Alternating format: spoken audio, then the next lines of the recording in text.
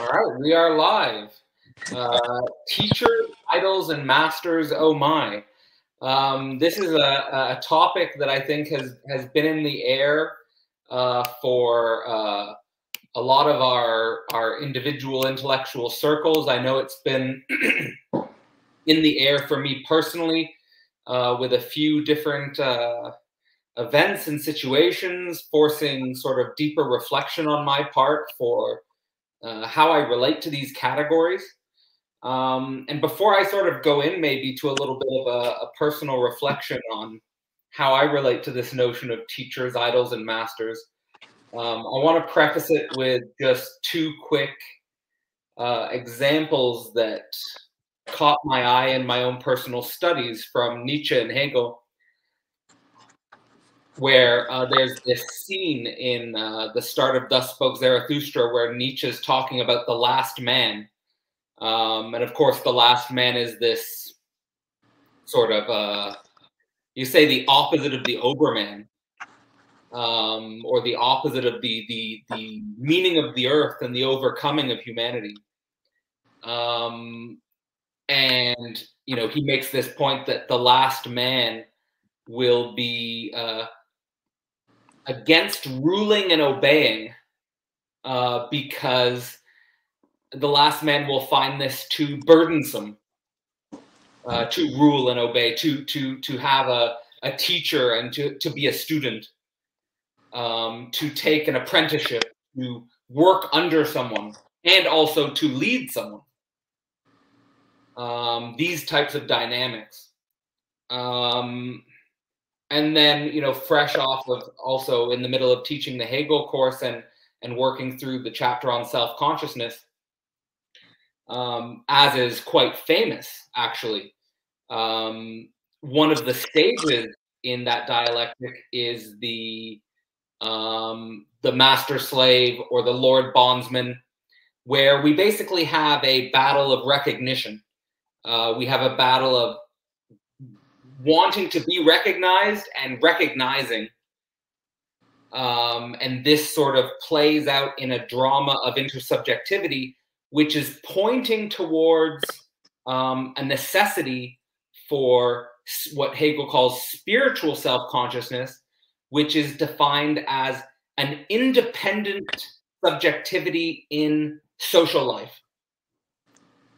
So, a consciousness that has one its independence or one its capacity to be um, let's say within social life but not um, reduced or regulated by the need to be recognized by certain idol or certain figure of authority or power or um, prestige so these types of things, uh, the way I both think about the way Nietzsche and Hegel are relating to those concepts is that there's something about an asymmetry in maturation and development which requires a certain a certain teacher student dynamic which is something that has to be cultivated on a conscious level and and moved through or gone through in order to become spiritually enlightened or the overman or whatever concepts we want to point towards but that this is important dynamic. Um let's see.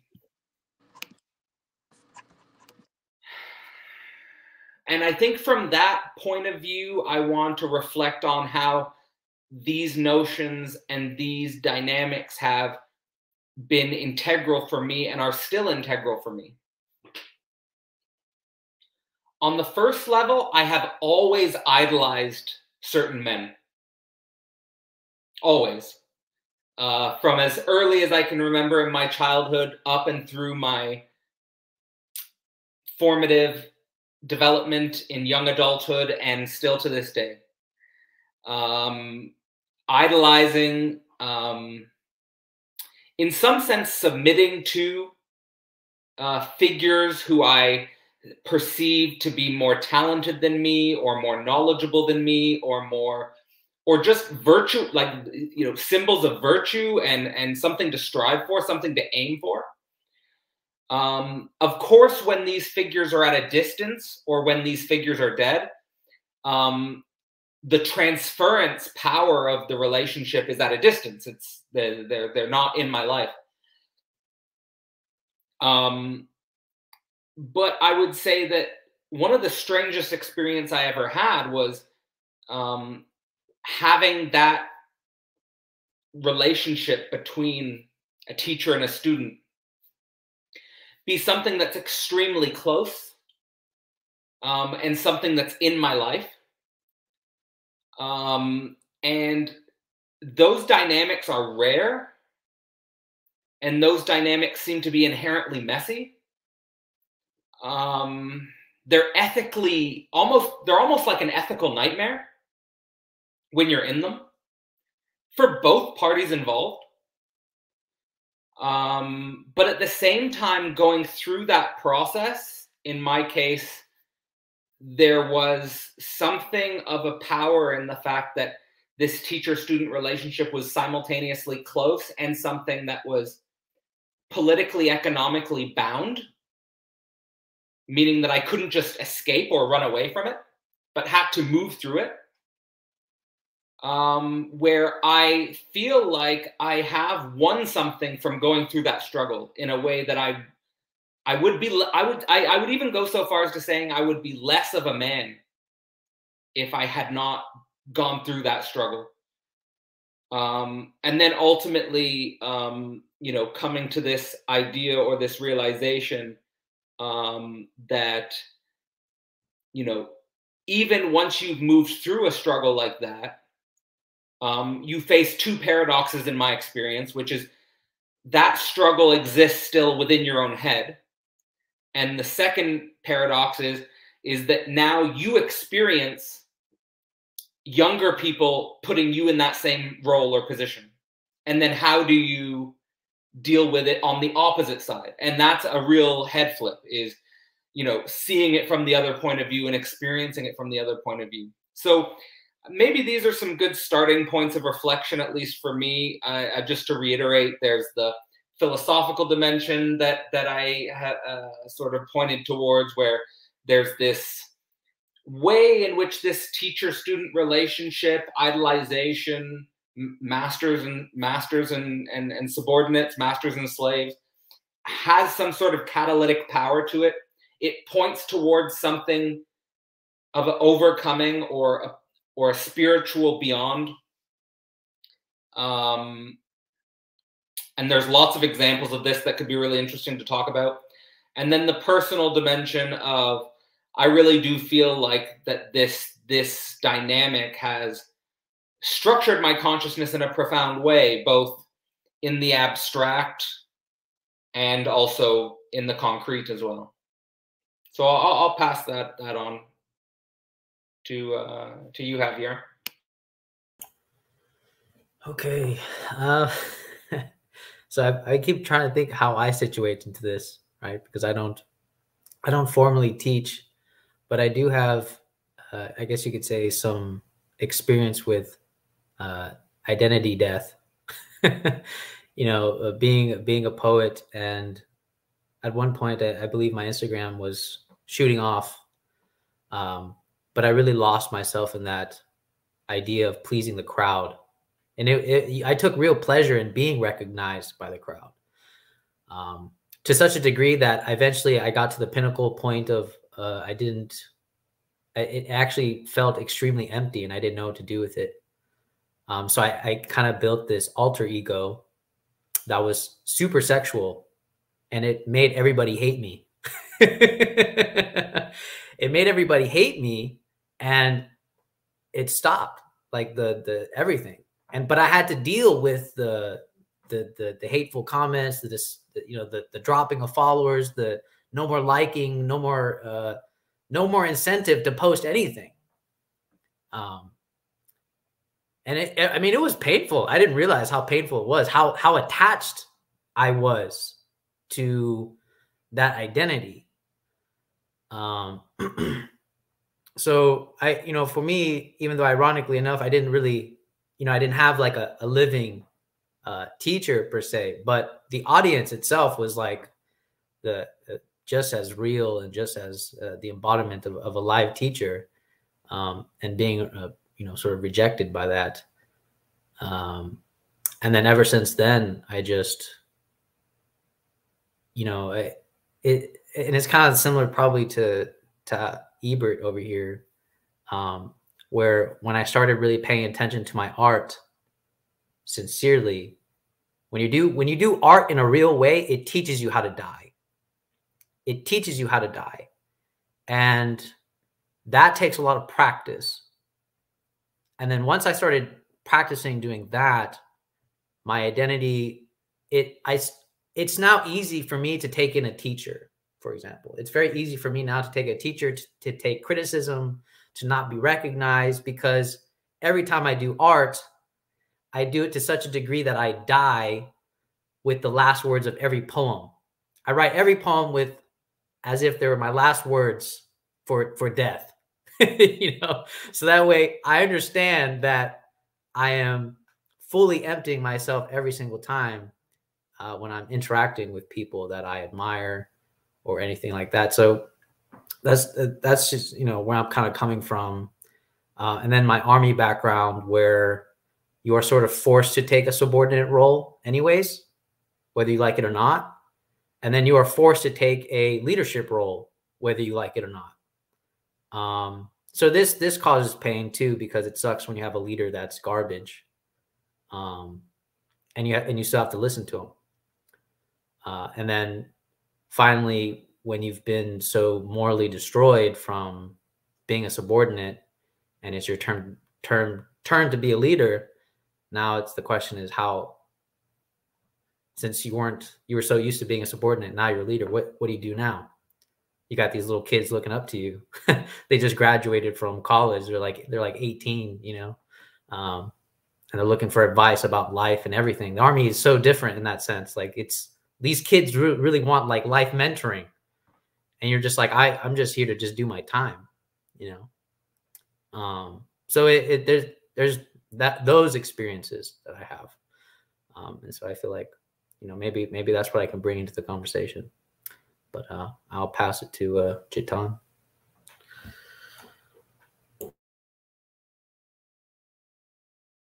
yeah. Yeah. Uh, so um, I've been teaching for say last um, decade or something, five seven years, formally in college universities, and you know it's almost always um, when you enter a classroom every year, the, the the struggle is to navigate between the permissive teacher and the strict teacher in many ways you know? And today's college dominant paradigm is such where um, where you know the permissive teacher has uh, a greater leverage to um, impose himself on the students than the strict teacher in many ways in, in some senses and you know? And and it, it cuts in immediately we should i think i think ask the question that why is why is this category of teacher actually so contentious especially in our times? You know if you think about pre-modern times you already have a teacher which is ritualized in very fixed you know way and we can think about that idea of the guru in some senses. Um, but if you look at the modern teacher there is something very displaced about that identity itself and something we need to think about how do we understand that? And if we take say hegel's question of um, uh, you know negation seriously and we ask the question and we create this formal structure all learners are equal. You know simple formal uh, structure. And in minute we translate into its substantial counterpart. We bring back the substantial counterpart where something like quantity would emerge you would immediately realize that that this formal structure would immediately translate into asymmetry between learners that asymmetry between learners is necessarily a part of activating this formal structure it's not something which is outside of it so, by very definition, this asymmetry becomes the necessary actualizing part of the teacher relation, teacher-student relationship. You know, teacher in some senses becomes a minimal excess. That very minimal excess that is required to navigate between two learners. in in some senses and and that that is you know that you know in, in hegel's thinking that becomes the the concrete determinate part of the formal you know whenever the form has to be activated it has to be activated through the concrete determinate part of of the, of, of the structure and that determinate part then you know uh, brings in the new form and the dialectic goes on and we can we can think through that that problem but but at least within within this context we can see that that teacher becomes that minimal access and um, as, as usually the problem goes with modernity we do not know what to do with access you know we, we have we have no uh, way to uh, and um, and the easiest i think the response we have towards that access at, in our times is um, as Alenka Zupančič sort of notes it is to exploit it. You know there, there's a non-relationship and the, and the easiest way to think about it is to let it be you know and if you look at your uh, modern education theories their only response to teacher student relationship actually is to let it be. That's that's the that's the predominant response of our times that uh, we should somehow just let it be. We should just uh, we should not uh, in some senses uh, be in any position to respond to this dynamic. That's how your formal university discourse um, um, positions us in, in, in that regard. And that is where the, the real challenge emerges that how do we recover some part of this dynamic? In, in what conditions, in what ways can we recover this? You know, and that that I think becomes uh, um, I think the key challenge in, in our times. You, you know, uh, maybe you know we can we can go on on this, and uh, but I think I'll, I'll stop here and we can see you know where the discussion takes us. Cool.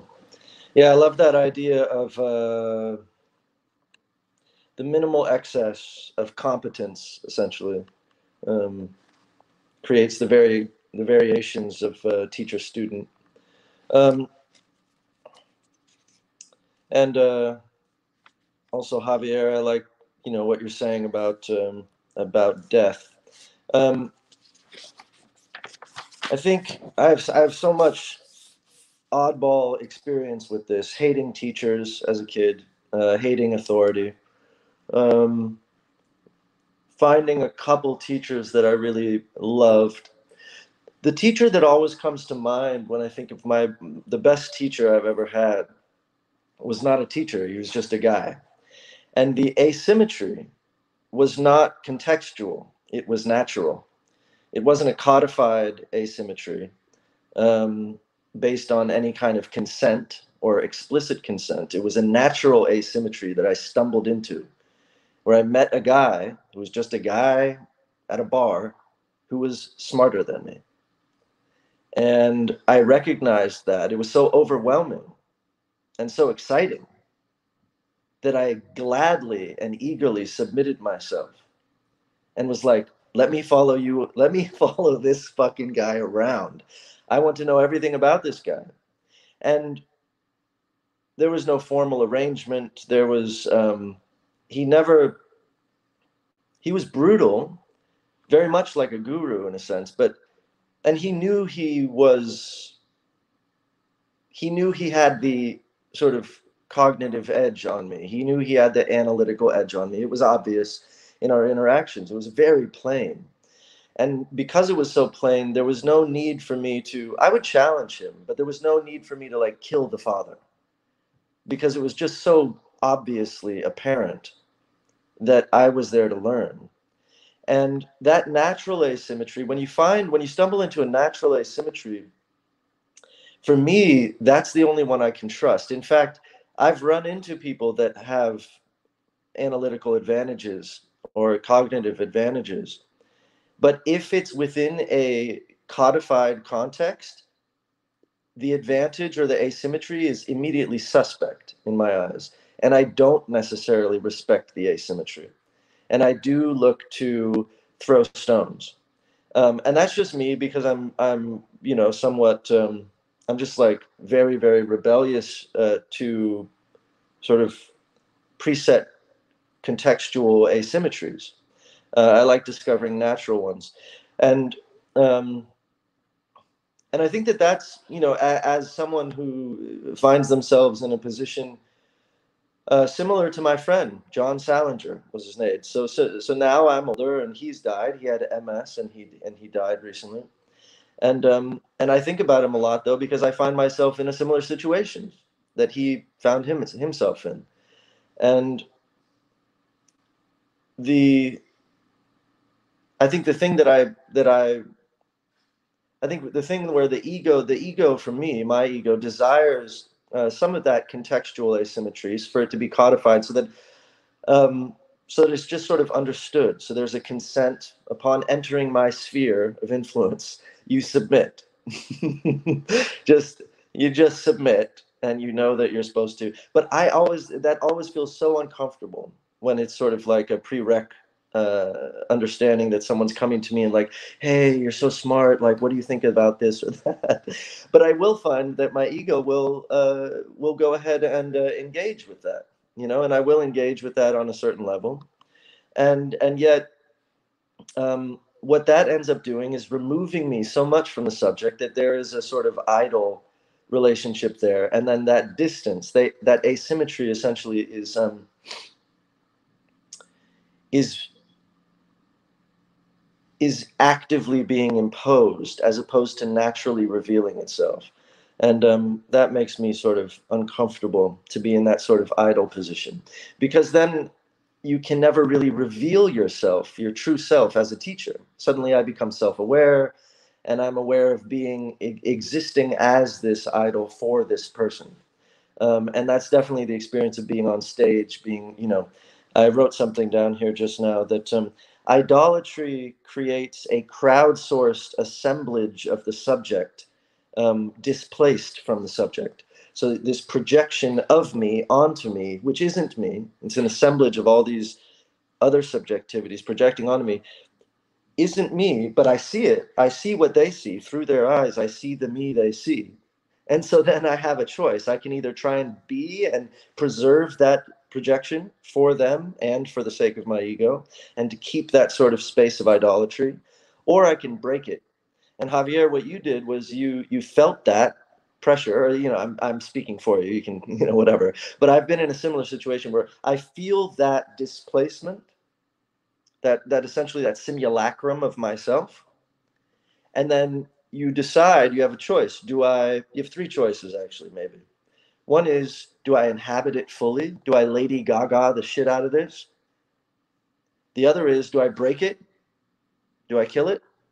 And then the other is, can I live both with it? Can I oscillate and enter it and not and play with it and just be like, yeah, this is no big deal?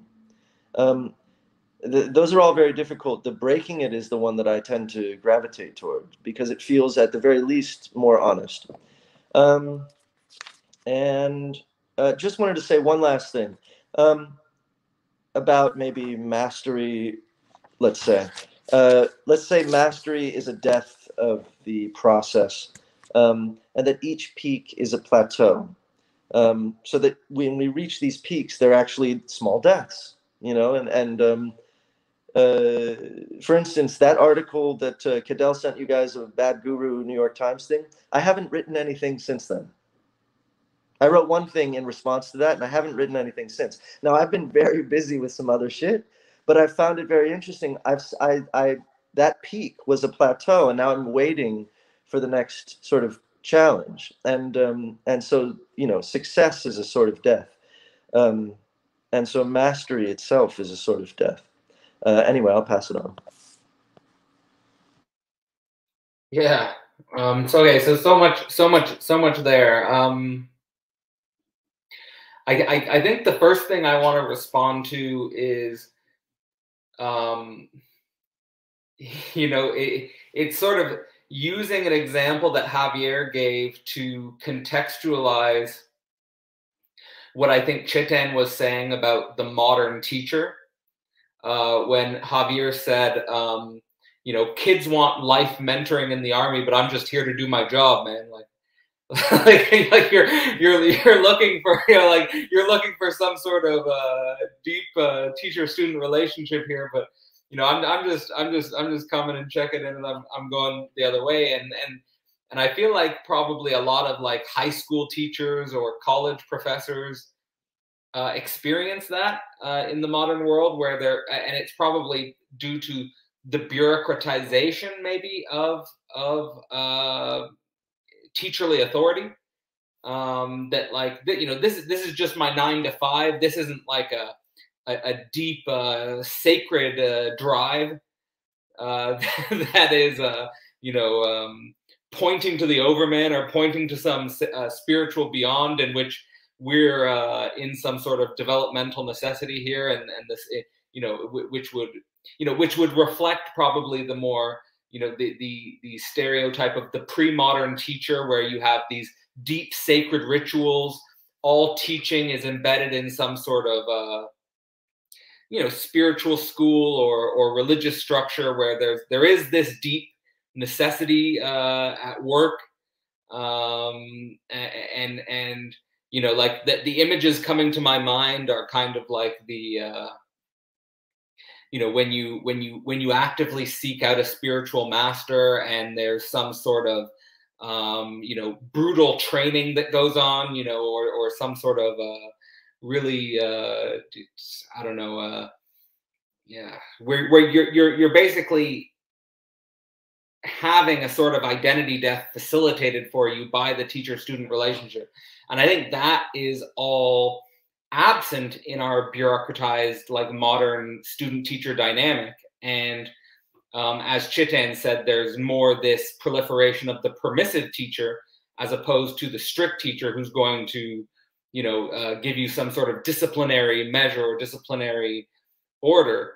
Um, and then like this question of, well, uh, where do we go from here and and and where do we go from this dynamic and i think you know on the one hand with what ebert's saying there's kind of like well and there's some and there's interesting language i think in the way ebert was framing his reflection on this which is um, i want the teacher student relation or the master slave relation uh, to be revealed not imposed you know, eh, well, the, the word reveal is kind of has a religious connotation to it, a revelation. Like, like, oh my God, I, I just bumped into you at a, at a bar. And, and actually, like, I have a similar experience of that because uh, when I was in my doctorate, while I was in a type of battle with my my PhD supervisor, where there was a, a feeling, a growing feeling on myself of a relationship of an imposition um, at the same time, I met someone at a bar in downtown Brussels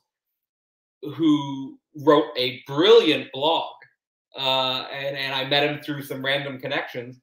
But I was just like, I just want to, I just want to pick your brain every weekend you know like and, and, so like and so literally that's that's what happened I, every sunday we would go and get it, get lunch and have a coffee and we would just talk for four or five hours my relationship with him was in some sense much more intimate um, than the than any of my other relationships in the sense that um, yeah i was just using him as like a sounding board for all my new ideas and i could trust that he would have i could trust that he was going to um, bring the type of um, i don't know this remarkable thinking, which I respected immensely. Uh, and and and so I, guess that is more in the line of this revelation of a teacher or sub, you know a willing submission to someone. At the same time, with this distinction between imposition and revelation, you know, I, I come to the problems and the questions of, well, can that be the case for all of society? Can you know, do, or you know, are these contingent little spontaneous meetings something that actually can function for you know for for a social order in a meaningful way? Is is that how we handle excess? Um and then the other dimension of it is well in the relationship where i have this revelation over the imposition the situation with the revelation it doesn't have a any political economic dimension to it meaning I'm not in a structure. I'm not, I don't have any economic support. This is just a guy I'm meeting with every weekend to have a coffee. So, you know, there's benefits to that, but there was also enormous benefits to having the institutional support and having grant funding and having you know some sort of you know institutional structure where I can publish my work and stuff like this. So I don't know. Th- these are just some of the ideas that I, I I'm playing with here from from from what you guys have been saying. Um, but I want to also echo what Chetan was saying about emphasizing Alenka Zupancic's idea here that in modernity, precisely, we do not know what to really do with excess. And um, this excess is, in some sense, um, yes, we all know about the ways our um, attention is being exploited, for example. That's an example of excess. Um, but I think we probably underestimate the degree to which um, the next generation coming up is itself an excess which has no, let's say, teacherly authority in place. You know, and and all those struct all those structures are breaking down, and and and what will become of society uh, as that excess becomes more and more unbounded. Let's say and maybe it doesn't need to be bound. Maybe that there'll be totally new ways of doing this and maybe the contingency of meeting will prevail. That's a possibility. It's just hard to think that but any we can we can just anyone who wants to respond to that we can just do more freestyle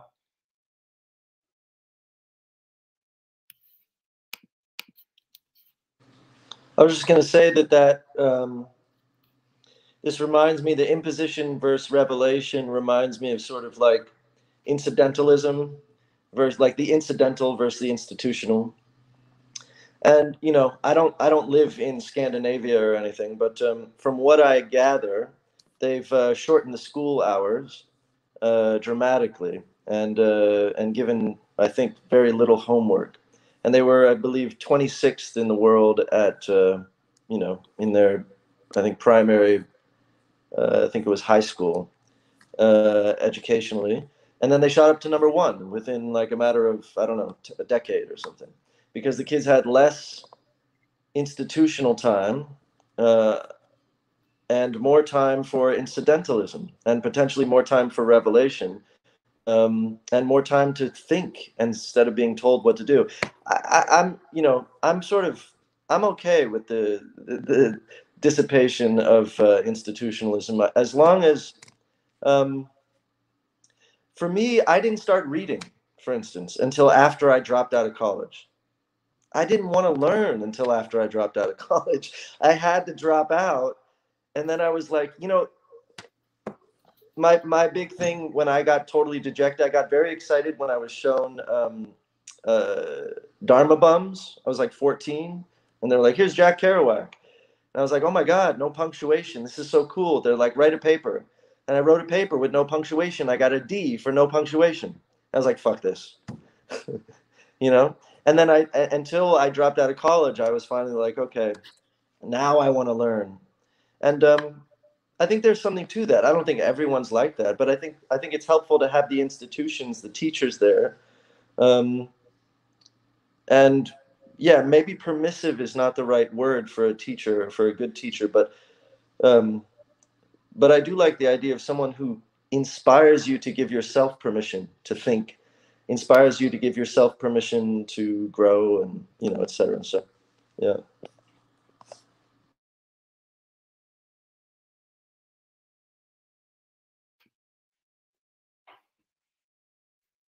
Do I yeah. You're yeah you're yeah. there yeah. I think there's something very interesting in uh, alexander is it okay if i call you ebert? Is it, is it yeah. Yeah so it's something very interesting in ebert um, thinking about this question of natural submission actually. You know and there, there's a lot of discussion at least in india where you have this contrast between what you have, uh, what you call the Guru Shishya Parampara in, in Indian Indian senses. For instance, our classical music, a classical dance still functions on those principles.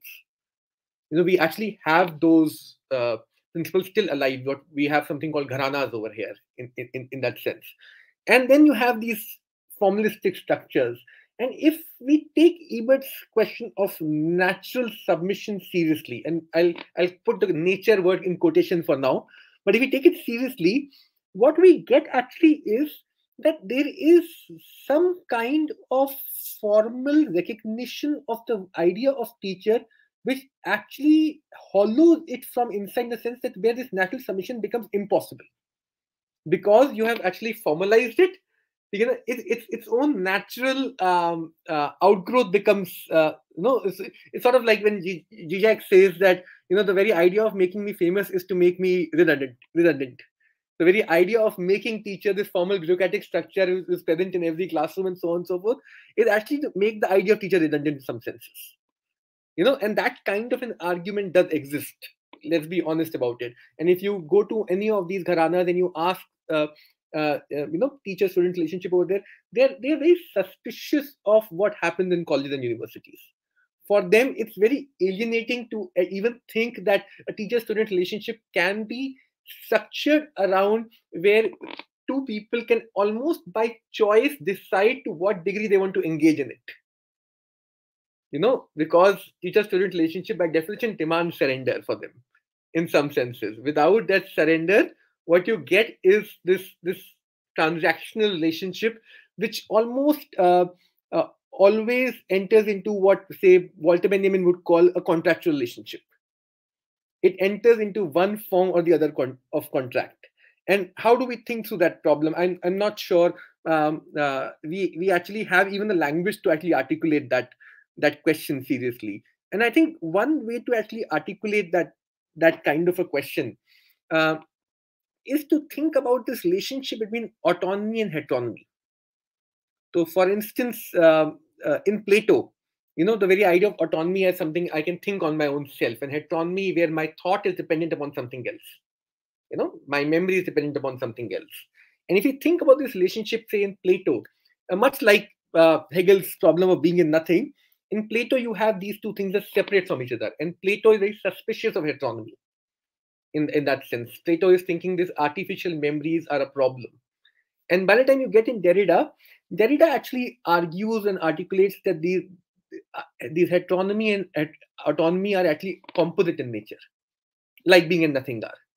They both are interdependent on each other. They both are not separate from each other in, in, in that sense. And they both arise um, uh, in uh, uh, the autonomy only arises in the conditions of autonomy in that sense. And if we take that kind of an argument seriously, then I then one needs to take what uh, Ebert is saying very seriously about this problem of natural submission. You know, because that kind of heteronomy becomes the conditions for thinking for your own self. Absolutely. I mean, you know, that, that's that was my experience with autonomy, right? I had all of this autonomy, all of this sort of top down, and you know the only way to even de- detect if one has autonomy is in if, if it's in relation to a lack of autonomy and you know the only rules that are made are made for breaking and all of that. Um, but yeah i mean I, I look at most teachers uh, like that as things to learn from and then okay like i'm gonna now i'm gonna kill you. Now i'm gonna break this thing and and supersede you. And if you give me shit for it then um then that's even better. Like like the more the more stress you present against my ability to sort of surpass you, uh, the better.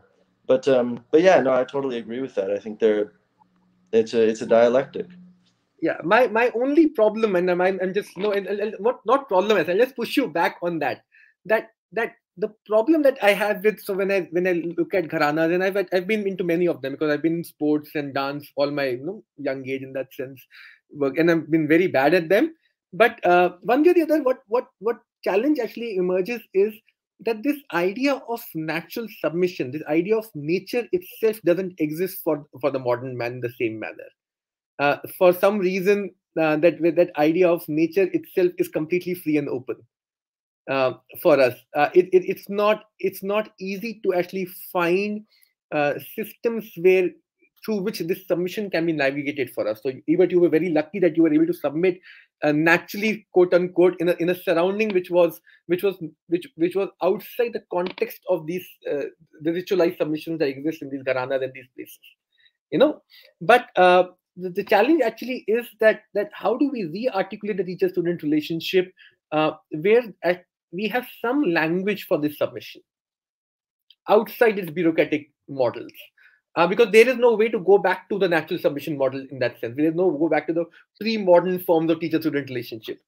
And you know, and, and sorry, go ahead, go ahead. No, go ahead, go ahead, Kelly. Yeah, please. Well, well, specifically in regards to this language, I mean, um, the, the the the the term, for example, master and slave, um, is just it's it's not something that sits well to the modern mind, and and and we, I mean, for various reasons, which are uh, understandable, but um, at the same time, I think that um, perhaps what this what perhaps what the modern the modern uh, ideology of let's say very broadly um, individualism uh, individual rights you know modern world struck by this push for individual rights and individual autonomy uh, what's what's missing in this ideology is a, a, an understanding of submission. And and i think that what has driven my development is precisely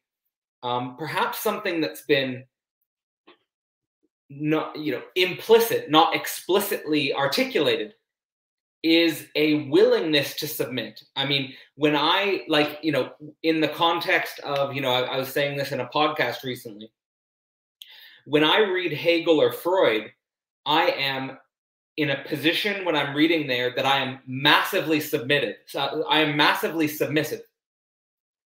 When I'm reading, I'm empty. And I'm trying to understand Hegel and Freud as they are and represent their thoughts as best as I can. But I have to empty myself out. Now, that's doing that with Hegel and Freud. They're dead. That's one thing. That's abstract. That's an abstract submission. Now, concrete submission is a whole other issue. And it seems like in searching for a language for this concrete submission, um, what's at stake is, is that we cannot bureaucratically formalize or institutionalize the ethics of this submission process. It's not something that can be given in laws. So again, um, here referencing phenomenology of spirit, there's in the chapter on reason, Hegel reaches a point where he says the free spiritual consciousness tries to um, give laws. And then the free spiritual consciousness tries to test laws, but ultimately finds that it can't do either. And that it just has to be the form of the law itself and sort of seeing its own ethical self substance as the law. Now, in regards to that, what that means is, is that in order to move this dynamic of the teacher student outside of the institutions, it requires that there be knowers in the social sphere whom can be contingently encountered by younger people. Like and and and and my my thought is is that it could be that what's happening in the online intellectual sphere right now is already providing that medium. Like because when i'm thinking about what's happening in my life um there are younger people who contingently stumble upon my work or whatever who will relate to me in a certain way so, but now that that could happen also in in the physical world, um, and it actually has happened in the physical world. Actually, at the last conference I went to, that happened. Um, but just trying to think that there might be something in universal spirit outside of any institutional structure which can naturally contain this excess. That's, that's um, so I kind of I kind of want to capitalize uh, what Ebert was saying about this excess because it actually made me think of Lacan's cutting the time short between his patients. He kept cutting the time shorter and shorter and shorter. But then also I was thinking about when you said Cadell, this willingness this willingness to submit. Um, ironically, I was thinking about how would we test this, and I thought about the Karate Kid, where the guy made him do the most useless things. What he saw was the most wor- worthless waste of his time.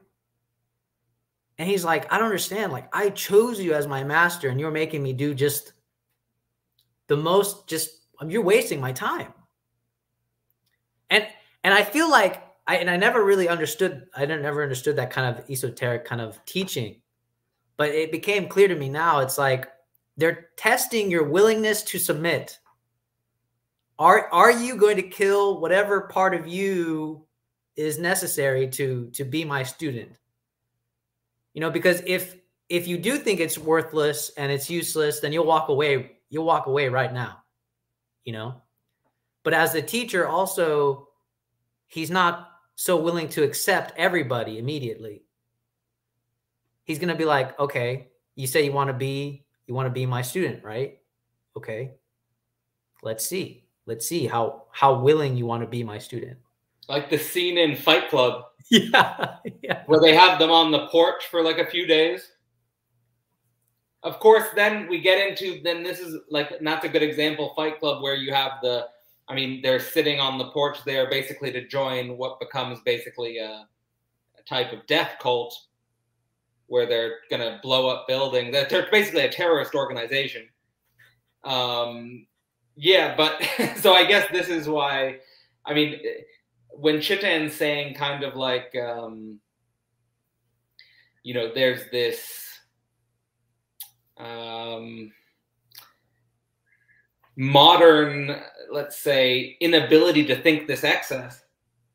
I think the reason why we're not willing to think it is because when you're playing with this excess, there is the possibility that you're you're playing with fire. You're playing with things that could become death cults you're playing with things that could become terrorist organizations you're playing with things where people can get significantly abused and exploited but then the paradox is is if you just let the excess without any thinking about it i mean it kind of gets exploited in in in unconscious ways anyway yeah i mean i mean the army is suffering from it right now because they don't know what to do with the suicide rates it, it's it's been granted that the, the army has the high, higher suicide rates than society itself. So they, they don't know what to do with it because we're told you got to be a soldier 24 7. So you have could, all this access. could, could we could we hypothesize that the increase in suicide in the modern world generally because uh, in every developed country there's a form of suicide that I don't think existed in the pre-modern world. Could it be because we don't think this excess and what to do with this excess? Sure. We know that you know forms of uh, even you want to yeah uh, we know that you know forms of capitalism actually do not know what to do with its own waste. If you think about even around yourself, waste is such a huge issue of capitalism because uh, it doesn't know how to bring the excess back within the within the you know system in that sense to actually make it make it a part of uh, you know in some in some some senses its own growth and so on and so forth uh, capitalism is actually uh, about its it, it, structures around its ability to keep the system um, you know within the same um, parameters in that sense. And to do that actually it constantly needs to collect the waste somewhere else. And that's that that's the problem of modernity in some senses. Uh, you know it, it always needs a separate site to collect it collect its own waste. And and that's something that can be seen in teacher student relationship also. Um, that that teacher student relationship actually has become uh, the the the other site where the waste is collected. You know in some senses as a, as a teacher sometimes i feel that that my prime job is to deal with that waste. It's it's not actually teaching in, in, in any real sense of the word. You know i'm just dealing with something which which cannot be dealt with any other way in society. You know and and i can i can uh, vouch for that when i you know i don't only teach in college i also engage with school children. I also engage and work with uh, children in slums and bastis you know and each space um, i encounter students uh, uh uh, where they're seeking something from me where, which I do not have, you know, um, uh, to give, give it to them in, in, in that form of um, the equation. Nevertheless, I think I think um, uh, what Javier was saying, and going back to I think Ebert's point, uh, we know in psychoanalysis there's, there's an interesting point that comes, and, this, and it's come as to Karate Kid's question that um, in psychoanalysis, very idea that you intellectually understand something, or you have a language of psychoanalysis, for instance. For instance, you know, uh, uh, the earlier joke of psychoanalysis was that you know uh, if you do not if you go to the analyst and you say that uh, um, the woman in I, I, had a woman in my dreams i don't know who she was but it, it was not my mother. Analyst knows it, it's your mother. In modern times um, the, the, joke becomes reverse the person goes to the analyst and says i don't know who the woman was in my dreams but i'm sure it's my mother. And and that that equally well becomes a problem. In, in that sense that when you intellectually understand something that itself can be the condition for your not able to learn it. In some true sense of the word. That itself can be a condition for your limitation in that sense. And and that that problem actually was uh, dealt with in te- traditional teacher-student relationships in particular. Where Karate Kid is one kind of an example where uh, we assume that teacher-student relationships is about breaking certain patterns of thought. You know, certain patterns of thought that you, a certain language that you go with. For instance, when we read philosophy, we know that if you actually enter into a say a relationship with somebody like Gurdjieff or you know uh, something of that nature, uh, one of the first thing that he'll do is he'll not teach you with philosophy. Not because philosophy is bad or something like that, but because breaking that pattern of thought becomes extremely important. You know because you you are trained in the pattern of thought. Somebody else who's who's trained in something else might learn with philosophy because again breaking that pattern of thought becomes the condition for learning in those systems. Uh, that language we don't have. Uh, we don't even know how to encounter that kind of uh, thinking because we can only teach with the patterns of thought the students are already familiar with as, as an analyst we, i have you, you can have a lot of options. As a teacher in, in the modern world one needs to think about that that that, that question in some senses. Yeah. I mean what you're talking about Chetan isn't a language right? I mean it's it's it's a it's a non-language. But it's I, I think the i like this concept and i want to shout out um Isaac Bard Fiddenar, who who writes a Zizekian analysis, because he, he has this idea of a meta non-language instead of a meta language. Uh, I think a false guru is trying to teach you a meta language, whereas I think a real guru, like you're giving the example of Gurdjieff, he's basically a meta non-language. He's not shutting down language, but he's like this zero point within language. I mean, and that that I mean that's inherently something that can't be formalized or or, or institutionalized in any sense. Uh, the, the, very very conditions for its formalization actually breaks its own uh, productive function in some senses. That's the problem. It's not that it, you know, it's not that it can't be formalized. You can always have a form for something, and as we know in Hegel, the problem is that that its own form cannot be resolved at the level of form itself. Yeah, that's the that's the challenge. And that's what and, and i think uh, even before hegel fichte actually understood this problem that minute you actually have something at the level of form and you try and resolve it only at that level without actually making it in some senses concrete you enter into a problem. For instance uh, uh, modern Russell's paradox is one example of that you can't resolve at a level of form, which is why you enter into this question of types. you know, if you think of you know set of all sets that are not member of themselves, and then you ask the question, uh, is it is that is, is that set a member of itself or not? What you get is that you can't resolve that question at a level of form at all.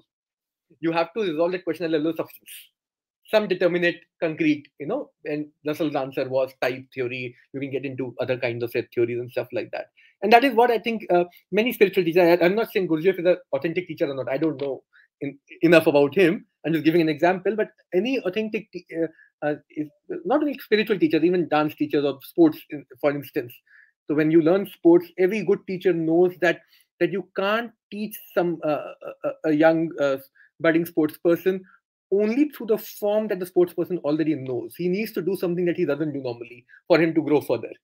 You know, he needs to break his own patterns of movement and thought and so on, so forth to learn new practices. Uh, in, in, some senses, and and and and not uh, this is not only something esoteric. It's something very very concrete uh, in in any practice based um, you know forms of teaching. and something we, we, we do not, I think, um, uh, you know, we can't think, uh, you know, this, this relationship in form and content in, the, in this manner, you know, especially in teacher-student relationship. I can give a very practical example that's coming to mind that I, I discovered yesterday about this um, teaching at the level of breaking form and that you can't just teach within a certain form but have to break the very form itself is that um, uh, the, the the head coach of the Duke basketball team is retiring and he's doing some sort of a retirement uh, podcast with former players. And JJ Redick who's one of his former players was talking about how when he was being coached by by Coach K, uh, the way Coach K taught him how to shoot three pointers was to teach him a form of three point shooting that had never been done before in a in a game before, and he he had him learn this new new new form of three point shooting, which revolutionized his capacity and his confidence to shoot. But it's the breaking of the form itself that that that that led to the new advance. Yeah. Yeah, you're you're either you know mastered by the form, or you're you're a master of the form. I mean, the the accounts of you know whatever artist. I mean, it's almost like a trope at this point. Uh, the their early work, you know, is really like fucking alive. Then they go to school. They get a lot of training in art. Their work becomes rigid, and then later in life they break all that shit and then they really become masters and that's when all their like best work comes out. And that's always the case. You have to be able to break the form. And the idea of like how do you institutionalize that you know then that comes back to uh, death practice right? Like the institution itself has to embed transition within it. And uh, the the um, it has to become a sort of transitory institution where the institution itself can continually be sublimated by itself and, um, you know, we live in a world, I think, where the preservation of institution and the preservation of self and the preservation of ego, I mean, everything is like, you know, uh, one big negentropic fucking uh, amalgam. Everything is trying to just avoid degradation. And that is the opposite of mastery. And it suppresses mastery. Now, at the end of the day, maybe it's a positive. Maybe that force of negentropic sort of suppression of of of transition is exactly the force required uh, to allow the um, to allow us to summon within ourselves the force to overcome it. Because at the end of the day, if I if I'm going to tell my daughter, nah, just try things different. No, try things different. No, no, no, do it different. Just make it up. Just make it up. Don't follow the rules. If I'm going to tell her not to follow the rules, well, she the only rebellion she has left to her is to follow the rules, right? So it's in some sense the most uh, helpful thing I could do, or one of the most helpful things that all my teachers did, was to try and create that rigor so that I could invest myself in trying to overcome it and break it. Um, so yeah.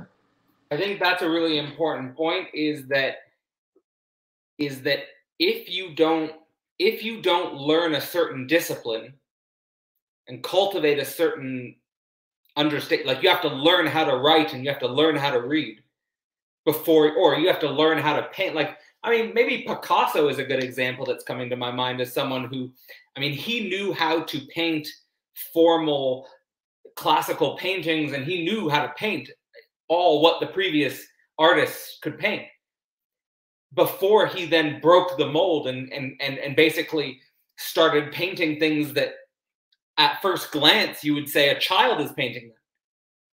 But there's something in the fact that it's not a child painting that it's it's someone who's been through a rigorous disciplined process and i think actually the same idea is coming to mind for someone like um, uh, james joyce's uh, ulysses is like with that writing style, and maybe Ebert, you're pointing towards this with writing without punctuation, but you know, James Joyce knew how to write probably just as good as any of the uh, previous classical writers. but he broke the mold of writing with with a book like with a book like Ulysses, uh, where it had like long run-on sentences, punctuation here and there, the the, the thought is everywhere kind of thing. Um, it's like basically a stream of consciousness book. Um, but that doesn't mean that you should just jump into stream of consciousness writing, or you should just, you know, I think you have to go. I think what we're saying is is that there is a disciplinary process that you have to go through and I think that's where the subject needs to submit to a master. And then once you've gone through that process of submitting to a master, then you can break free of the form and you can play with the form perhaps more. Uh, I mean, on, on your own internal logic, perhaps. Yeah. yeah. just to add to what Ebert and Ebert had a, I think, many insights in what he said. Now I'll just you know pick the last one and, and take Cadell's uh, note here. So we need to we need to understand that actually uh, this question of breaking away from form in some senses and and breaking away sublation uh, uh, substantial you can use different words for it uh, at this point of time uh, but what it actually entails is not simple change in fact we have to be very honest to ourselves that that uh, that simple changes are necessary to hold the form together. If you change something too much every day, you are actually not changing the form. In fact, that is how form sustains itself. For it's, it's the same thing like when you want to go for shopping. Uh, the very the idea of holding yourself to shop every day is involves you to buy new clothes every day. If you buy the same clothes every day, the idea of the, going through that that desire will break down. The desire is sustained because you can buy new clothes every day. That is how essentially capitalism sustains itself. Those small incremental changes, those that, that idea of a newness in that sense is held together um, uh, through uh, the, the, the, structure, the form in which these changes are taking place, which is why radical newness, which is why actual break, actual sublimation, or you know, um, sublation actually occurs when there is radical repetition. When you allow the repetition to take place, when you actually allow yourself to follow the rule. When you actually allow yourself to follow the rule, it is then you break away from the form. And that is the contradictory thing that you have to think about in this question of surrender, which I think Cadell is pointing out. That till the point we are not allowing ourselves to follow the rule, that repetition to take place, we do not find a way out of this this this problem of the form itself. Um, you know, and and one can see that that that, that problem emerges you know, between any radical repetition and radical newness uh, let me let me jump off that very quickly uh, on because I like your example here of this. Um, I would be I would be interested to know how this would apply to the person who's literally shopping every day. Um, but in in my example, so I, I want to give an interesting example because I often um, encounter people who want to overcome Hegel before they ever really understand Hegel. Like they they want to jump over Hegel without before they. I, I whenever I see people do that, I, I'm just like uh, just like ridiculous. But the the the my attempt is is that I'm repeating Hegel. Like I've every time I every time I read the phenomenology of spirit, I I'm repeating it in a with a slight difference. And my intuition is is if I keep doing this, that's actually how you break away from Hegel. Eventually, I will get beyond Hegel, but I have to repeat him thoroughly. You have, you have to repeat him exactly. Yeah, yeah. yeah. no, but that make that makes sense because you need the student to become almost to the point he's discontent to keep doing like keep uh, keep doing this repetition that eventually he's like this I mean, actually, the I think was it the Auguste Rodin and, and Rainer Maria Rilke are a perfect study for this because um, Rilke Rodin taught Rilke how to do a new way of writing poetry, which was by staring at an object so intensely that you empathize with the object, right? But Rilke wrote a whole new set of poems for that, and then finally he broke away from that and came out with some of his best work that he's ever done, the Duino Elegies, Sonnets to Orpheus. I mean, so there is something there is something about like repetition to the point of completion, but it's it, the completion isn't clear. It isn't clear what that completion is. or when when that will be for the student that that kind of completion um, and i guess that's what's hard to pin down about this repetition it's not very clear you can't mark it down and say like okay now you're going to cut it off and kill it um, he has to it's almost like you have to guide you have to raise him to kill it. That's the whole point right? The, the point is not to tell him to kill it but to raise him to kill it. And i feel like that is a whole different way of um, of teaching to to raise somebody how to kill something instead of telling them how like just telling them to kill it. Because they don't know how to kill it. If you tell them to kill it they don't know how to kill it. So you got to raise them how to kill it yeah i want i want to jump in about completion um, i think i think something is complete when it becomes nothing um, and this comes back to my my infamous uh, every totality is the only nothings are made from totalities are made from completions um, when something is complete, it becomes, it disappears. Um, and I think that, you know, we can give really practical examples. You, you know, you watch Steph Curry do his fucking drills, right? And he's just nailing them. He's not, it's body, it's muscle memory. He's not thinking. It's pure muscle memory at this point. It's become nothing. It's just about the repetition, the repetition, the repetition, the repetition. And suddenly the practice becomes nothing. There's no conflict, there's no contradiction.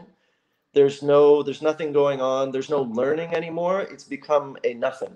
Except what he has to do is continue to repeat it so that it remains like nothing, so that it remains um, complete. Um, and yeah, I think um, you know, and you know, bring in Buckminster Fuller, but like, like the just the idea of that completion making the previous state obsolete, and um, it just, I, I just love the idea, uh, Chetan, that you brought up. That just that repetition is the, you know, there's a very big difference between responding or conflicting with something and then transcending it or sublating it, right? if you're if we're responding and i'm saying no i'm not this i'm different than this then that other thing is still the counterpoint against which you're defining yourself. You have not transcended that thing. The only way to transcend the thing is that it's no longer a counterpoint. It has essentially disappeared. And through repetition and if we just look at sort of like you know it's like my freak theory shit but like when we repeat repeat repeat like like like you mentioned um lacan going just client, client, client, client, client. Then the clients just sort of disappear, right? The whole thing, the whole practice disappears because it's become everything. And every totality disappears everything. So we repeat, repeat, repeat, repeat. All of a sudden, it's a flat line. So if you have these waveforms, sorry, I'm getting into freak theory for a second, but if you have these waveforms, you repeat, repeat, you repeat enough, you zoom out, it's a flat line. And I just love, I always love that imagery, and I think it just uh, dovetails nicely with what we're talking about here. Yeah, I can I can go off this the examples you're giving, maybe specifically uh, combining uh, Steph Curry and Buckminster Fuller, which has maybe never been done before. so, so, that's so, but it but it, it's it's good. It's so it's like if completion makes the previous stage obsolete, I think Steph Curry is a good example because like Steph Curry is someone who is not Michael Jordan like Michael Jordan was like the the like the perfect form of basketball, and then you'd have people like Kobe Bryant who basically try to mimic Michael Jordan, but they can never. They're always responding to Michael Jordan. So Michael Jordan's still the form, whereas Steph Curry is not responding to Michael Jordan. He's a he's a new form. You know, he's not. So it, it's kind of like it makes the previous it makes the previous form obsolete and then sets a new paradigm for for what the form is if that makes sense. What's interesting about steph is that he couldn't be the form because of physical limitations right? So he couldn't oh, he even, came up with a whole new style. He couldn't even do it. Yeah so it wasn't even an option. Yeah I mean, I think I think that that I think that that applies to philosophy. I think that that applies to different forms of art. I think that like what we're stumbling upon. But at the same time, I mean, how can we tie this back into um, teachers, idols, and masters? Is is that that new form becomes the new idol. It becomes the new teacher. It becomes the new master. Um, it's what the next generation is going to be looking up to. Um, and then that then becomes the form which needs to be learned and repeated until that form is transcended. And it goes on like this, perhaps. And that's like maybe the immortal repetition in the death drive. Absolutely. If you if you look at the Kuhn's uh, theory of paradigmatic shifts and scientific revolutions in that sense, that is how exactly it, it, it you know he's, he's thinking about it in that sense that each scientific paradigm brings with its own rules, and you know scientists keep on repeating them, exhaust those rules out at some point, and then suddenly a break happens and something completely new emerges and a new paradigm emerges and a new set of you know rules emerge if you if, if, if you think about it. Uh, you know uh, I, I, I want to shift the topic a little. I want to go back to Ebert's question of uh, importance of death in, um, um, you know, uh, in the teacher-student relationship. Uh, you know, I remember I, I, was I was I was trying to find uh, Wittgenstein's uh, you know very interesting quote where he said that um, only point um, a student has actually learned is when he can start using the rules on his own you know and, and and there is certainly a point when a student can use the rules on his own and after that it, it, you know that relationship can have some some formal significance in your life but you move on. I don't know you know at least the relationships i've been in i know that that you know i i have had to move on. At some stage at some stage you you you you know that you learn at, at, at some level and you you know try and think of those things um, on your own. Um, but actually this moving on is, is a confrontation with death over here which, which i think is important to think about. All teacher student relationships actually has this death presupposed into it built into it in some senses. Now you can read the you know your your uh, past materials on this or you can you can find uh, current uh, you know uh, each so for example each gharanas that, that that i've been talking about each sports relationship if you think about it it's not that that the, the coach you start with you the coach you end with. Each time you have to uh, move on in some senses in in, in that sense uh, and how do we think about this death and how do we actually completely affirm this death in the teacher student relationship? I think that that that remains something we, we need to uh, ponder upon in in, in some senses in, in, in such a discussion. Because uh, uh, to simply overlook this death also can make the teacher student relationship um, uh, become hollow from inside in some senses.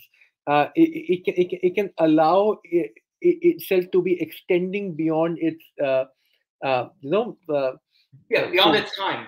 Beyond beyond its time, yeah. Yeah. And then how do we how do we how do we think through I it? want yeah. to talk about this because this is a very this is a very uh, emotionally charged uh, issue for me and, and actually ethically problematic. I would be interested to know how, if any of you have had that experience. I know for me, with the example I gave of the teacher who was kind of like a revelation. I we and we met for coffee every Sunday or whatever during my doctoral student, at a certain point when I think he felt okay, this relationship has had its time, he simply disappeared.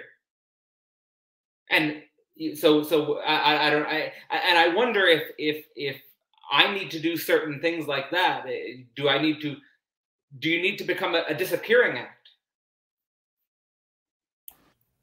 The vanishing mediator, right? The vanishing mediator. Yeah, yeah, yeah. I think that that's helpful because the disappearing is the death. You you know we have to be willing as teachers to be overcome, to, to die.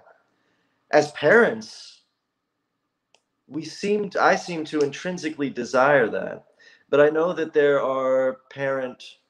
Uh, uh, uh, Jesus Christ. Anyway, uh, parent, uh, kid, children. That's the word I'm looking for. Parent, children relationships um, that um, where the parent is not really that willing to be overcome, um, and um, and I think that fucks people up, you know. And and yes, to be a strong barrier that they have to exert force against to to overcome is one thing, but then being completely unwilling and driven and over determined by your unconscious uh, death drive uh, to re- to totally resist their overcoming and uh, and not be a vanishing mediator um, essentially ends up just creating neuroses in the student. Um, so, yeah, I think I think this this this willingness to die, especially on behalf of the teacher, um, is crucial, and whatever form that takes, vanishing. I mean, it'd be kind of amazing to be in university and going to class, going to class, and then one day you show up, the teacher's just not there. It's like apparently class is over. Apparently we graduated. You know, like that there should be some temporal flux that that where where class reacts to the actual progress of the students as opposed to this sort of you know uh, rigid um, uh, uh, calendar. Um, you know, but you know, I, I don't know. I think for me, I'm just like so, so anti-institutional that that's what I would need. But um, but I do think that you know, I mean, tenure is a great example of like total refusal to die as a teacher, right? Like I want to get this status where no matter how I teach, I can't be fired. Yeah. I, I just want to say in the movie, um, in the movie Good Will Hunting, there's a teacher-student relationship between I their actual name, their actors' names are Matt Damon and Robin Williams. Everyone knows that movie, I think. Is that actually at the end of that movie, they both function as vanishing mediators for each other. Because not only does Matt Damon sort of totally change his direction and vanish from the city he grew up in, but Robin Williams' character vanishes from his role as a psychotherapist. And he, he you know he, he sort of it served his it served his his his function and and then and both were mediated by the way by the sexual other the the sexual non-relationship that's what was at work in their in their in their teacher student mutual vanishing is it possible cadell to have a vanishing where it evolves into a friendship it's no longer master student, but it becomes into a friendship. Uh, but I feel like I know what I'm saying. It has a lot of specific prerequisites for that. I think there. I, here's here. Let me just say what my hypothesis would be, and then respond to this. My hypothesis would be there needs to be a, a legitimate death, a vanishing, a gap, and then a spontaneous contingent refinding because then it would be a genuinely new relationship. That would be my hypothesis. Because otherwise, there's otherwise there's still that excess of the transference, which is not which it, it's still there.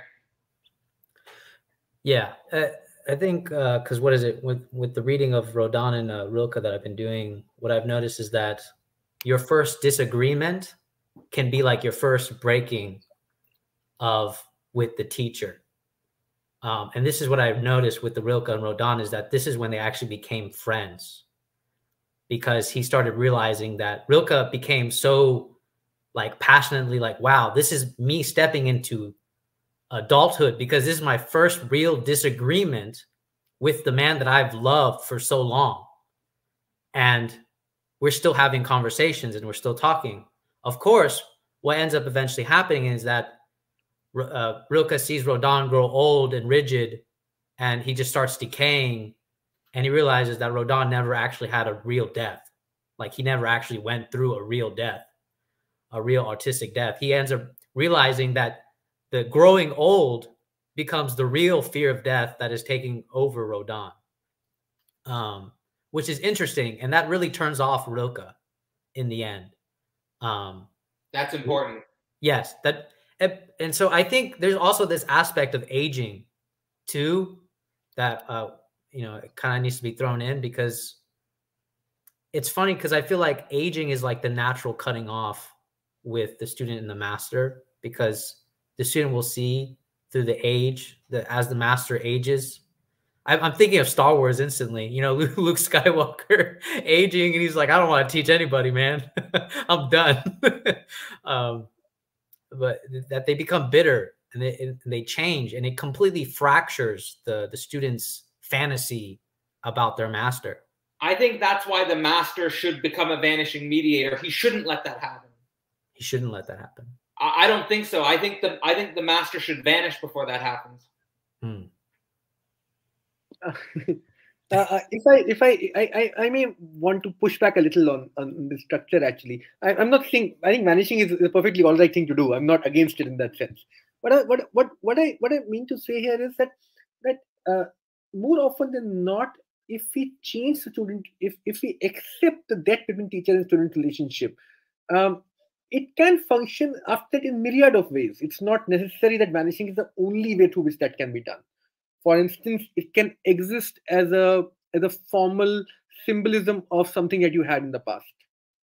You may still say he's my teacher, but you know that you've moved on. That that knowledge still accepts exists over there. And I've seen that happen in more than one case where you know um, there, there's acceptance of, of the moving on bit, and yet whenever you go back and meet your you know master, you'll respect him and you'll give him that respect and and you'll and you'll move on. Uh, there is the vanishing act, of course, which which does that radically. Uh, in my cases, most many times when students get attached beyond uh, their welcome, uh, I play the, you know, I, I I usually play that, uh, uh, you know, um, unresponsive and cold and distant um, person, you know, who's no longer interested and I and and maybe sometimes when a person, same person, comes back to me a year year later, I'm very interested. I'm interested to know where he is or where she is, and I'm very curious. And you know, once, once, that, once that once that gap is established. Yeah, yeah, yeah. Once that distance distance is established, and then we both yeah. accept that there's a distance there now. My you question know, to you is: It is it difficult for you to play unresponsive, cold, distant? Is that difficult for you? Not no, at all. Not at all. Not at I all. enjoy it. I, am I'm, I'm more than happy playing that, playing the devil over there in that sense because I know because generally what happens, and this is this is the I think the Foucauldian point over here in some senses, and I see that happen many times. That once when you overstay your welcome in any of these help, when you're a student or the teacher, whichever way, uh, you actually en- enter into a zone of silent death. You let somebody die rather than accepting your death you know you allow certain populations to die similarly you allow certain relationships to die also. It can be a love relationship many times. When things are dying and you're letting it die rather than taking responsibility for it. And you know that each time then you try and intervene you try and make it better the death becomes more and more clearer to you. And sometimes you have to really accept it that okay it, this is it. You know you, the very act of saving it is, is actually making it making it making it a zombie in some sense you know you're keeping it alive after its death and you can keep things alive after their death for some reasons at certain points in life. But you need to be very conscious that something has died. you need to be aware. It can be a love relationship. It can be a relationship with your parents. It can be a relationship with your, you know, uh, lovers or teachers or whatever in, in that sense. Uh, I think I think I think that, that that death plays an important role, and if you don't accept its reality, uh, you can enter into zones of violence which are uh, which, which are in some senses quote unquote zombie like, which are you know uh, where where things are almost acting on its own without you know you being able to participate in them in a conscious way.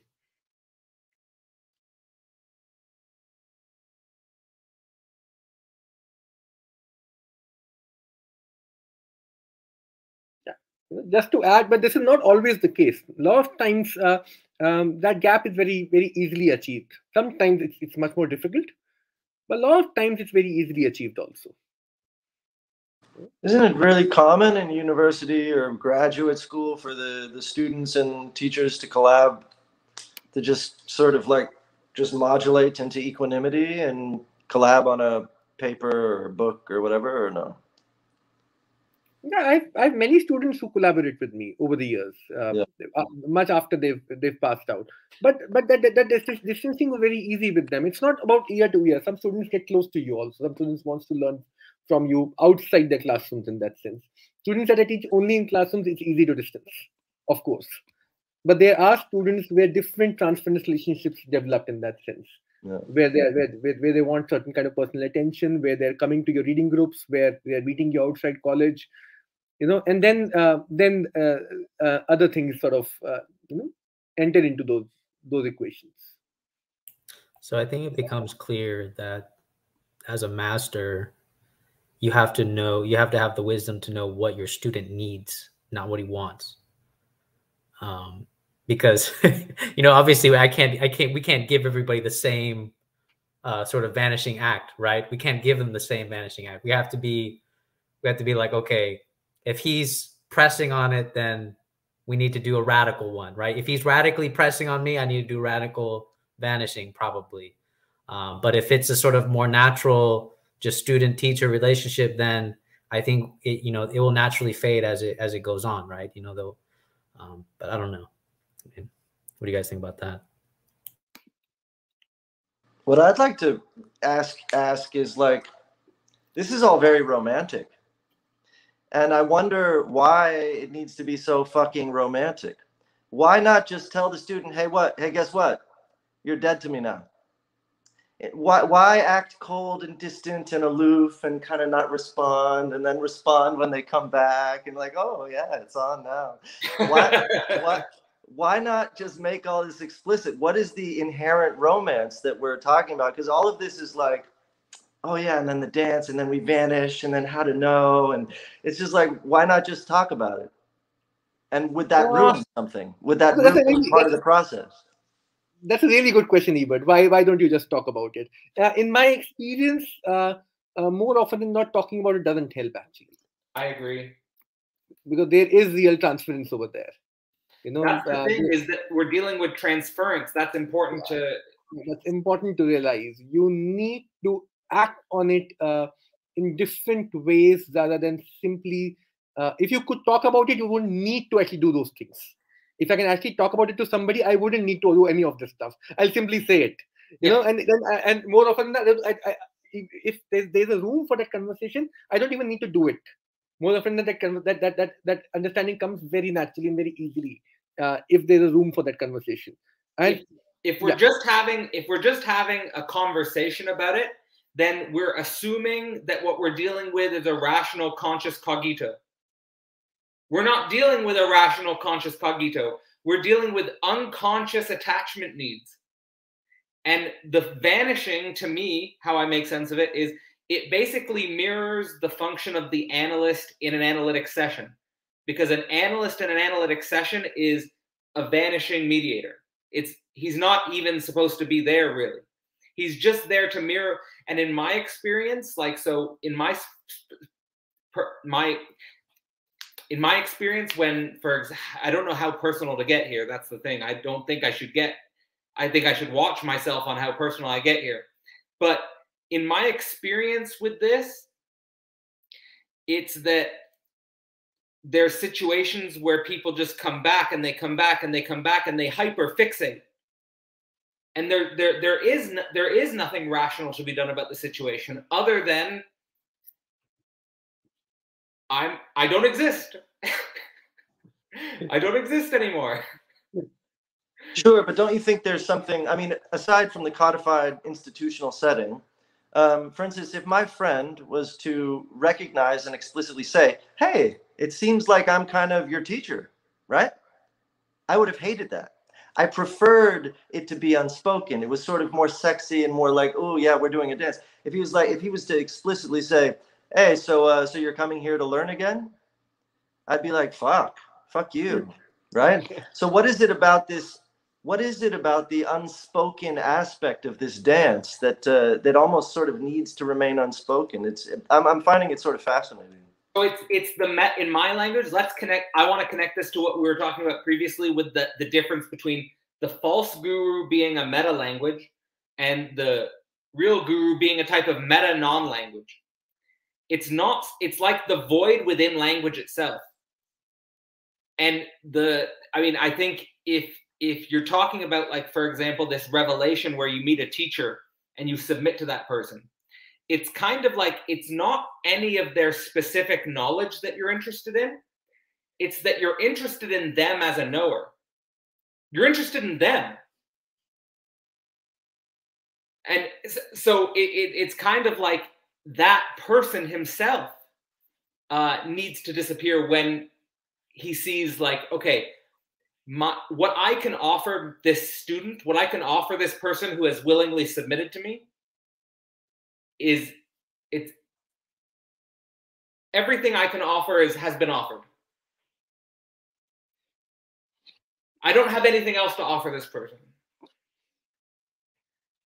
I mean, sure. yeah. Go ahead, ahead. Go ahead. Go, go ahead, go ahead, Cadell. I will change the topic. Yeah, please go ahead. I just want to say it might even mirror the ethics of breaking up in romantic relationships. That in romantic relationships,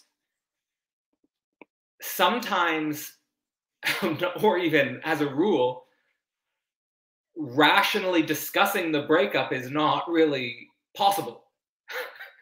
you're, you're just going to be spinning in circles because you're like that's my if, if you rationally discuss the breakup it's like you're just going to spin around forever there needs to be the break and the gap that's all i have to say I, I I'll sort of quickly respond to I think Ebert's one point, and I'm not sure if I'm it's relevant what I'm saying because, uh, but I think Ebert's question, at least in part, needs to be separated from a certain times naming something is actually violent. Naming something is almost always violent in some senses, but uh, sometimes naming something actually uh, cordons it off from its other uh, identities. In, the, in in that sense, so um, sometimes when when you talk about say when you go to a teacher and when he says oh you are my student in that sense and he names that relationship uh, that relationship takes a different form for you than you you were having a fantasy of or imagination of when you were going there. And there is violence involved in that and i'm not sure uh, we can discuss ethics of that violence definitely. I think we can Uh, say lang- language is violence, right? language language is violent but but but that language that that violence essentially has some basic roots in naming itself when you name something you actually um, put it up, uh, uh, you actually coordinate off from its other Yeah. things so if you name me something i i'm many things but i am named one of them and i'm i'm i'm stretched apart from the other things that i am you know that is Yeah. how identity functions in, in, in some senses and and that that tension actually a lot of times remains in many relationships and where where naming it can become um, you know so a lot of times uh, there's a, a lot of a lot of times when when I have friendships with people, and, it, inevitably sometimes I am the student or the teacher in the relationship, and that happens. Uh, it's not necessary that I will name it. In fact, more often not, I would not want to name it uh, for very practical reasons, not for any emotional reasons, uh, but for very practical reasons. Because I know if I name those relationships, uh, uh, other things which are not there right now in that equation would get involved. A lot of time, the teaching learning process is much more smoother without naming it, without Okay. actually explicitly giving it name. There, there's just one example I'll give from my own life, and I, I agree with what you're saying, and I love the idea just that language is violence because you know, and it, and it does cordon off anything from its uh, extended potential. Um, but um, so in my band, I, I I was the leader of the band. I started the band. I'm still almost embarrassed to say I was the leader, right? So that's part of the story. And um, and it was a very sort of egalitarian thing, and we're traveling troubadour. But meanwhile, I'm doing I'm doing probably 90% of the work. I'm sitting there, I'm writing the songs, I'm slaving over the songs, I'm and I and and then we get together and records record them. And that was the way the first and second album went largely. And um and third album. And I remember but we had this we're all we're all in this band together and this thing together and it's like, you know, and I remember I'm at this festival and I hear one of my band members won't say who a kid on the uh, at the festival is like, and he had just joined. This guy goes, "Hey, so how do you guys write the songs? Does does he write them, or do you guys all write them?" And he, and I, he doesn't see me, and he goes, "We all write them together." And I was like, "Oh, fuck, that's not true." First of all, and secondly, the the not talking, the non-naming had manifested into a reality of naming that was not in concert with reality and um and that fucked me up and suddenly i started being like okay wait a minute um and i started i started tracing my my silence back and i started naming things um because rea- uh, the the fantasy had spun the fantasy of of non-naming and the relation and if i was to be like yeah i'm the leader of the band everyone would be like whoa. But then at some point it became necessary to be like hey you know what? I'm kind of the leader of the band and my vote my vote is going to count more than anyone else's because of X, Y, and Z and da da da. And so, and that was really helpful and clarifying and hard and weird, um, but like, but also necessary. So anyway, yeah, it's just that was uh, that was the experience that I'm sort of like questioning this from. Yeah. yeah. I think I think this. Sorry, go ahead, Chetan. Go ahead, go ahead, Cadell. Go ahead. I just want to say, I think. Well, I think that's such a good example. Um, but I think that is why, and I've had that experience myself in the, my own way. But I think that is all of the mess about teachers and authority and and masters is that we want to have this fantasy of egalitarian relationships and it's traumatic to say i'm the leader actually it's traumatic to say actually i did the most work or it's traumatic to say actually we're not all equal here or we're not all the same skill level or we're not all the same work ethic. It's traumatic to name this. But i think it but i think that's what all the mess is about. And i think that that that we we I think going through that process is a precondition for mature social organization and also to avoid sort of secretive, sneaky totalitarianisms. That's all I have. But but you know, Cadell, where does that begin? Where does the first naming begin? It begins at the family, doesn't it? When they say, You're my son. and all that excess gets now carried on because it's been called out. It's been called out. And now I have to deal with that subordination that I hated so much because I got called out by saying, Well, you're my son. You're in my house. you know, and it's like it's kind of like we all knew it. I I knew I was her son. I knew it was her house, but it wasn't until she said it, right? And I feel like this is why now it kind of has to be unsaid uh, when it goes it's into flipped. the school. Yeah, flip. Yep. It, and this is what Chetan was talking about about the strict teacher and the permissive teacher. But this reflects also the family. We've we've flipped from the strict family where I'm your father and this is my house and I put dinner on the table and and where do you think you came from? to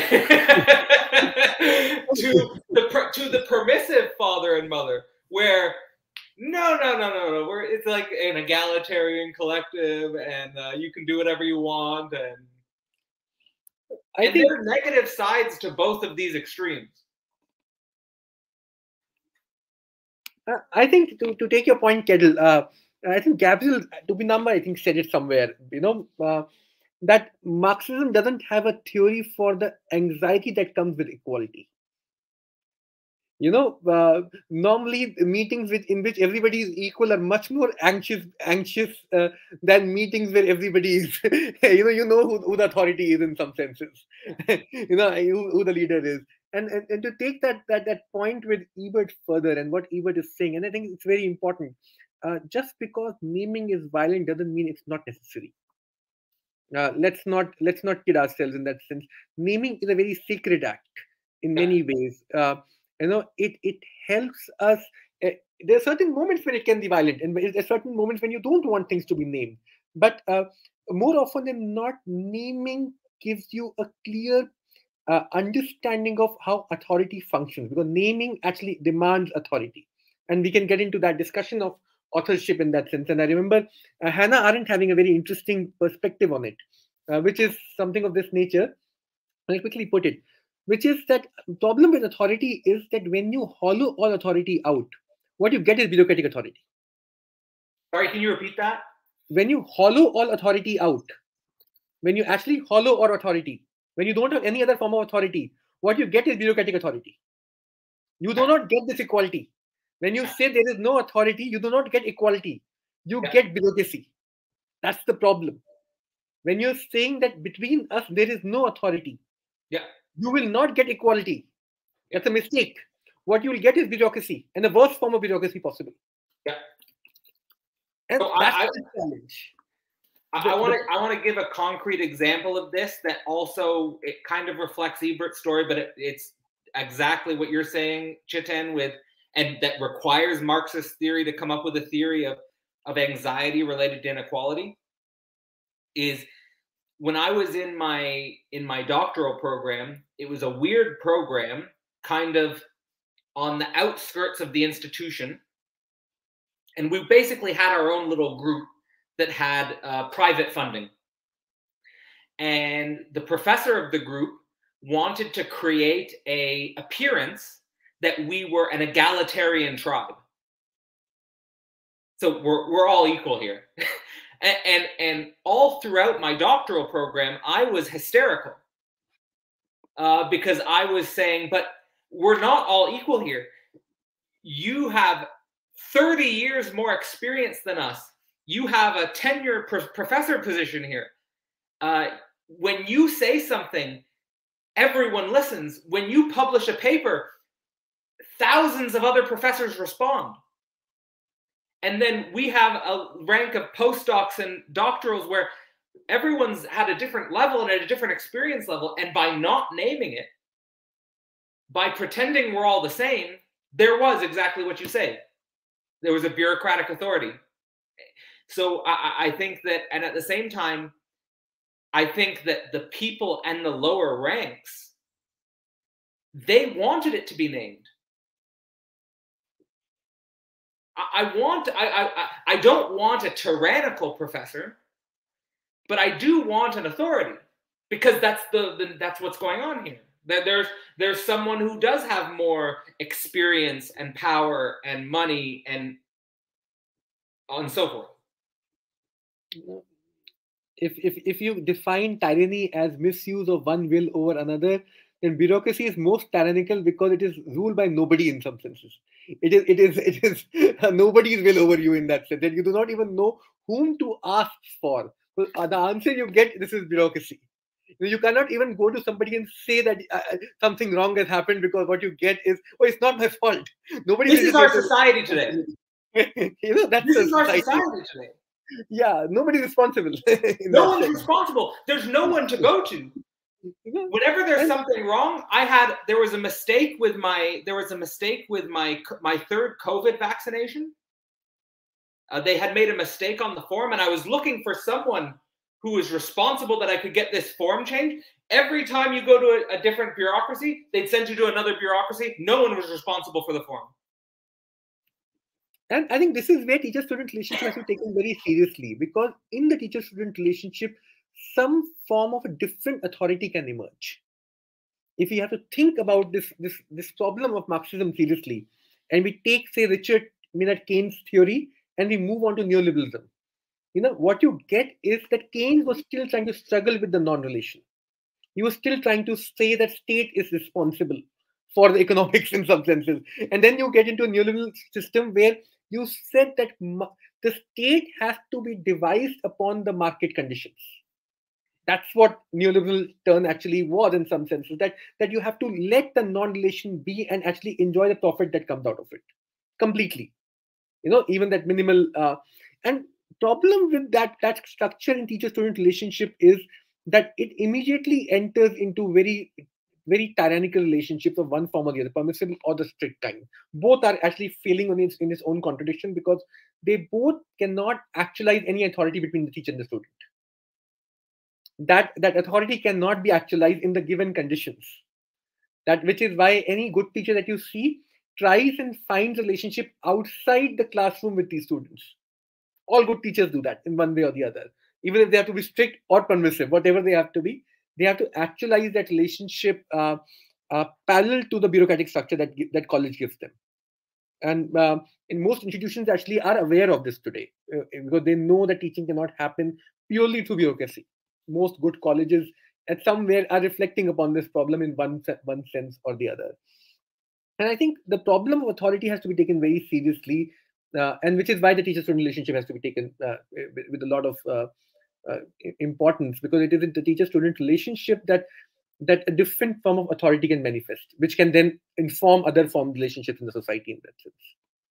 I think I think the problem of the authority, which is becoming an epidemic, it requires understanding absolute knowing. I think absolute knowing is the solution to the authority crisis and based on that you cannot just give laws arbitrarily and you cannot test laws for particular content it requires the very form of the knower to be the ethical substance of the authority. So it requires absolute it's a crisis of absolute knowing. It's a crisis of it's a crisis of we're in a society with a lot of knowledge but with no knowers. Uh, if I can push you back a minute uh, over here, uh, and I, am still skeptical about uh, authority and absolute knowing relationship, not because you know I, I don't agree with you, I, I completely agree with you, but because I think uh, yet we have to ask the question: Where is the authority of the absolute knower located? Now, where are you locating the authority within that structure? That still remains up for grabs in some senses and and and that problem and, and has to be recognized because that is the problem of power. That's a concrete problem of power.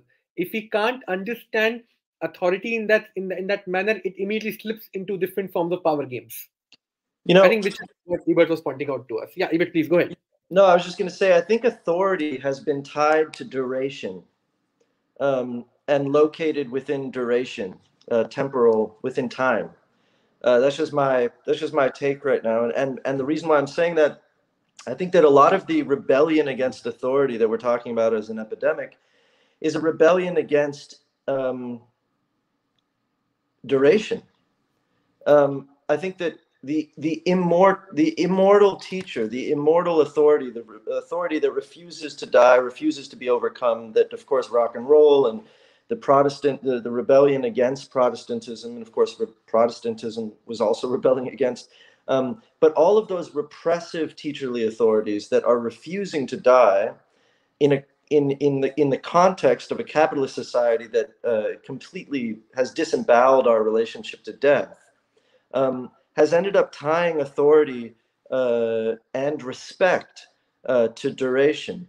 Um, my my experience of uh, of respect in society today at large, not my own personal experience, but my analysis of like Western respect of authority, is those authorities which endure uh, hardship, whatever, those authority, and, and, those which do not. And by the way, this is also my uh, experience of uh, Western analysis, and I think most analysis to relationship. If a relationship lasts, it was successful. If it didn't last, it didn't work out.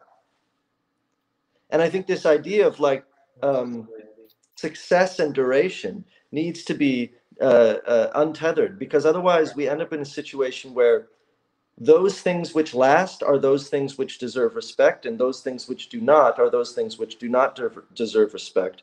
And so of course the teacherly authority is going to be like no this institution this way this practice and I think the general rebellion is against that sort of duration and hence and embodied in the trans movement, but in the broader sense of the word, which actually I back.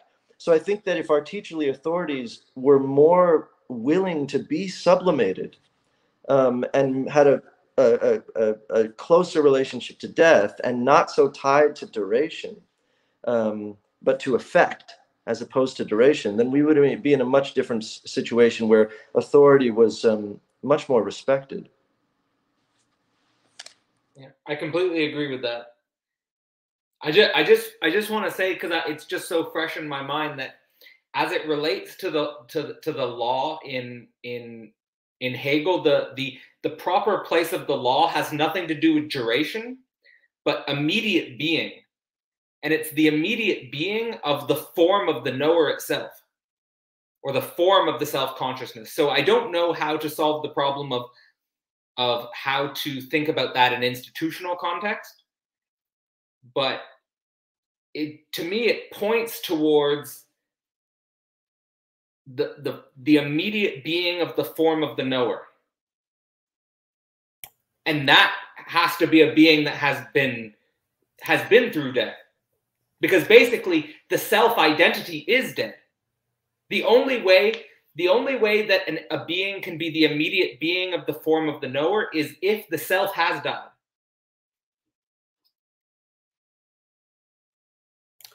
So, could uh, if I could just clarify um, are you saying that for the teachers, right, they need to be in control of the like ethical authority, but the the catch is they need to be the ones that also know how to die, like they have knowledge about how to die. Am I am I understanding that correctly? Yes, what I would say is, and like maybe in relationship to Ebert's emphasis on the institutions incorporating death, is that in order to have real teacherly authority, it's not just that you've learned a certain specific knowledge form.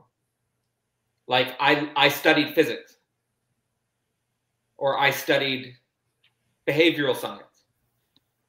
It's that I'm the type of knower who has myself, I have died to myself.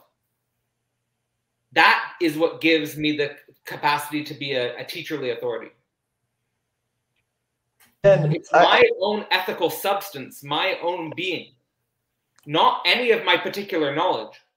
And that comes back to Zak uh, Stein's thing about um, true education being uh, that asymmetry, uh, the teacher who wants that asymmetry to close, who wants the, te- which is essentially, in other words, wants themselves to die or become a vanishing mediator, so that that asymmetry between teacher and student closes, and that's the teaching process until the student overtakes or or makes the teacher relationship student relationship zero or nothing, and that's a death.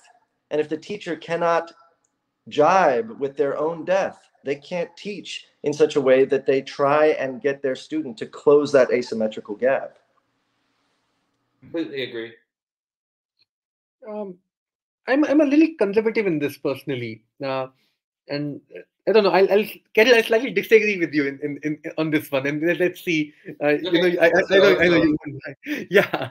So uh, my own feeling on the problem of authority actually is that this question of the vanishing mediator in that sense, which is what I was trying to bring on before, also in that sense, when I was saying that where is where, where do you want to locate authority?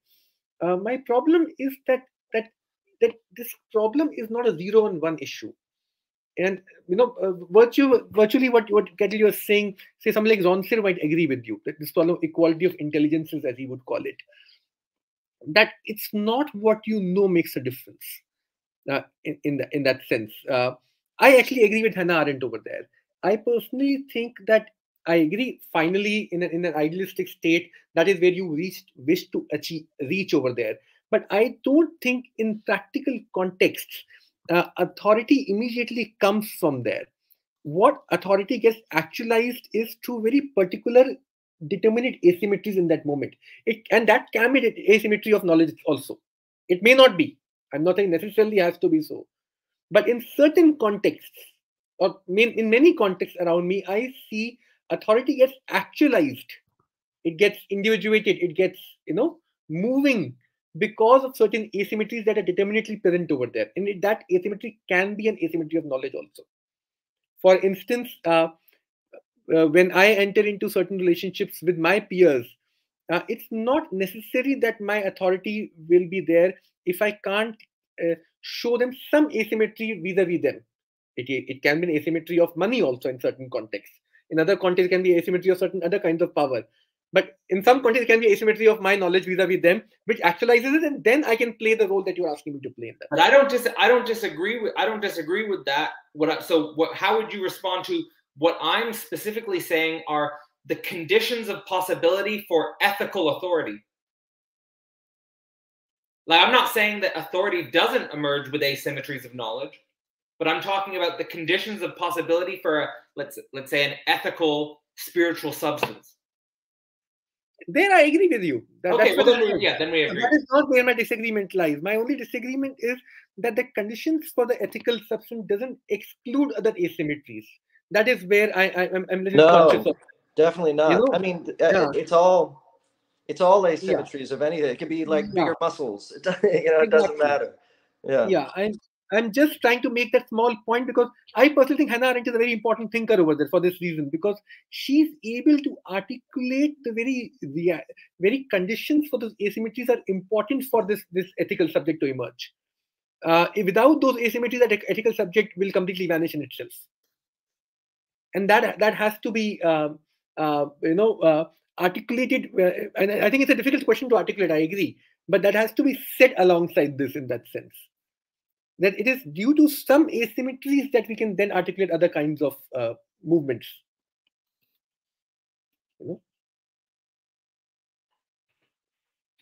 Yeah. Uh, can I can I sort of respond to one thing that Ebert was saying, and I think that that that response never went uh, complete. Uh, just to sort of get back to your, I think Ebert, your your very interesting provocation to us, where you was talking about a band incidents, and I remembered a novel by um, uh, you know where this problem emerged, where they, they they said that that they never had to they had a clan and they had never had to name the leader of the clan and incidentally, what happened at some point, people got up and said that, why is this person the leader?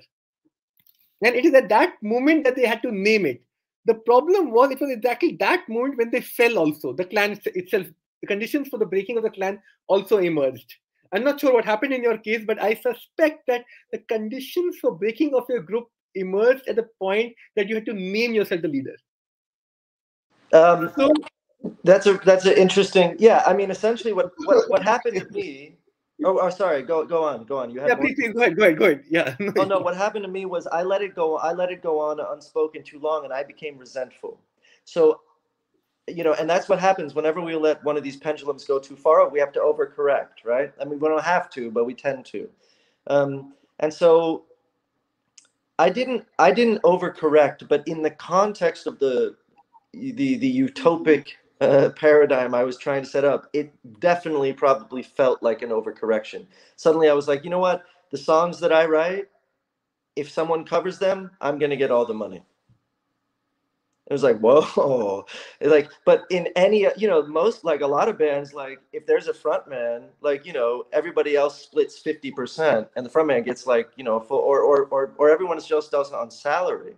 So it's all contextual. But yeah, I mean, I think for me, it did precipitate a breaking but that that precipitation there was a number of factors that led into that but that was certainly one of them.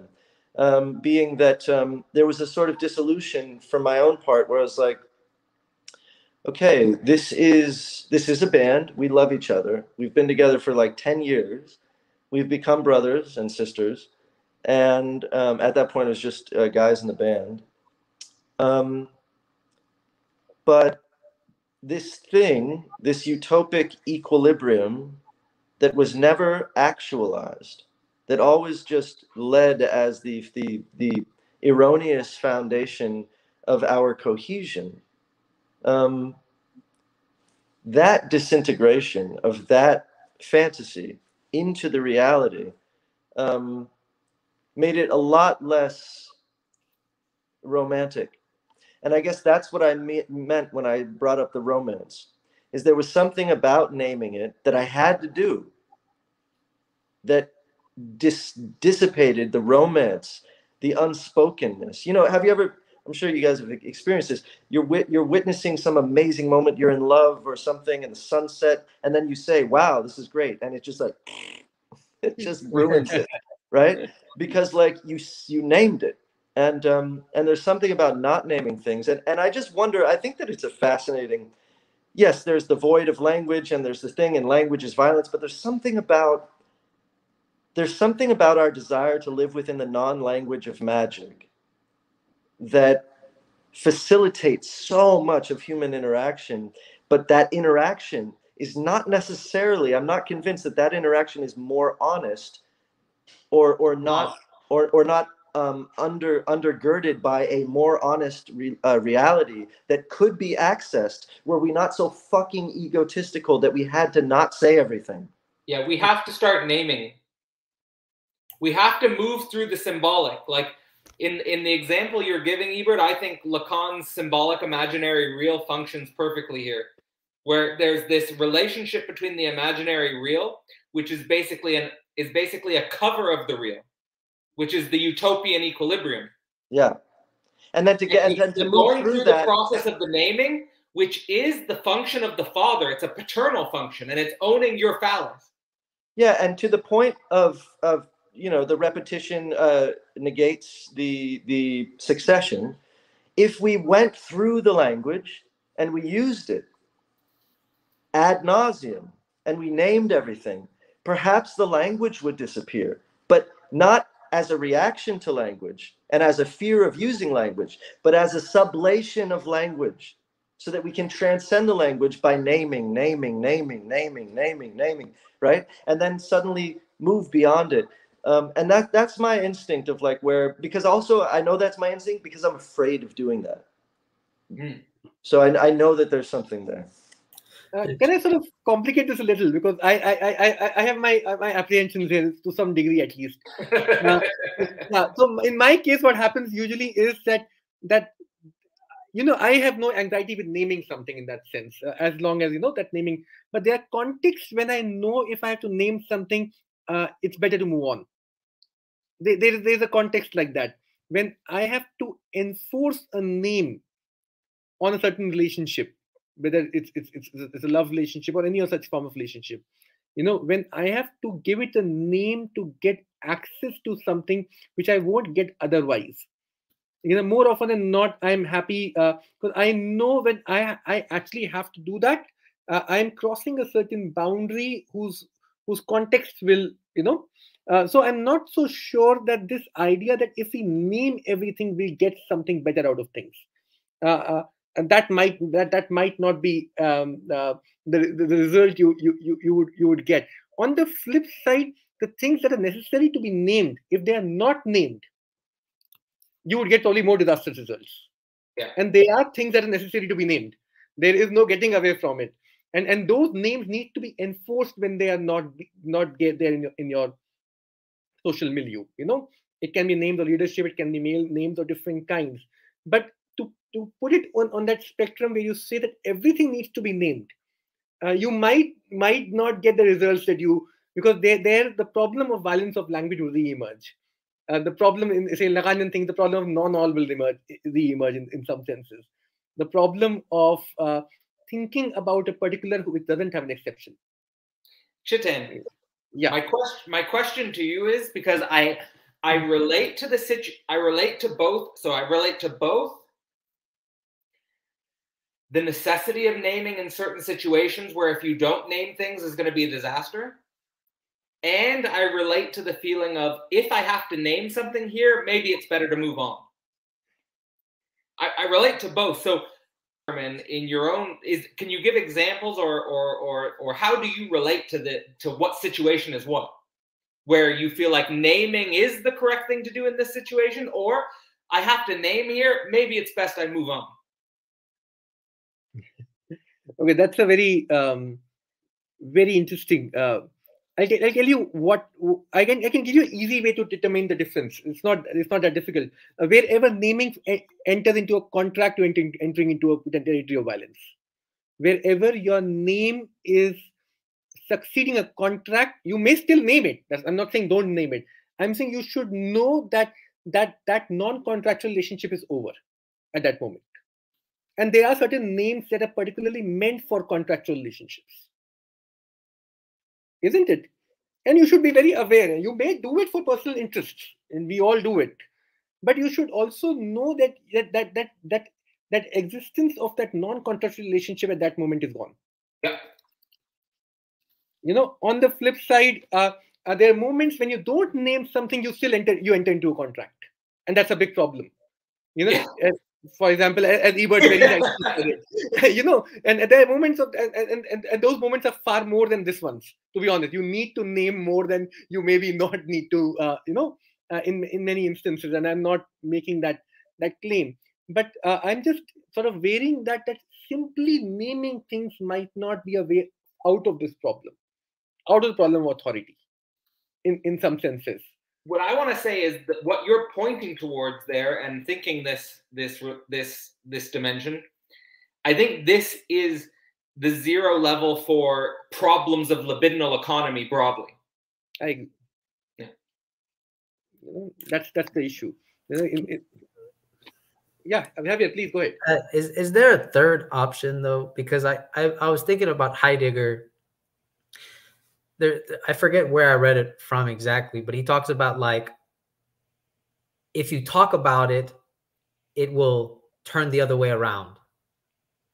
And and I and I and I, want to make this distinguishment because I feel like it's important because it's like it's it's it's it's, it's in between not naming and naming. It's like talking about it, but I don't know. I don't know what else to. I don't know what to call that. It's you know. Do you know what I'm talking about, Chetan? Like because it, it like if you talk about it, it it will turn around, and I feel like it's kind of like what we're doing right now because we haven't exactly named it. We we just called it student teacher relations. That's a very known name. So, but we haven't named it. Um, but I wonder if it's like the talking about it. That's what's going to turn it around. Um, but I don't know. That, that that's just what I was thinking.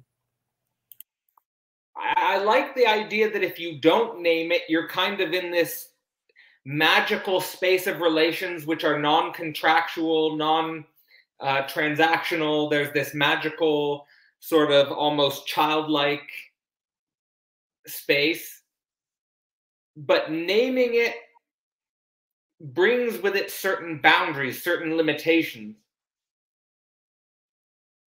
Um, and then the question of whether to name it or not to name it is like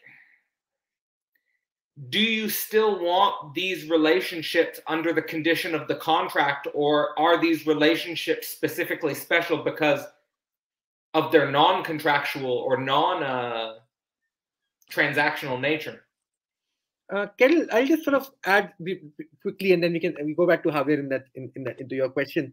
Uh, the, I think the choice is not between not naming and naming. That's a false choice. Let's be honest about it.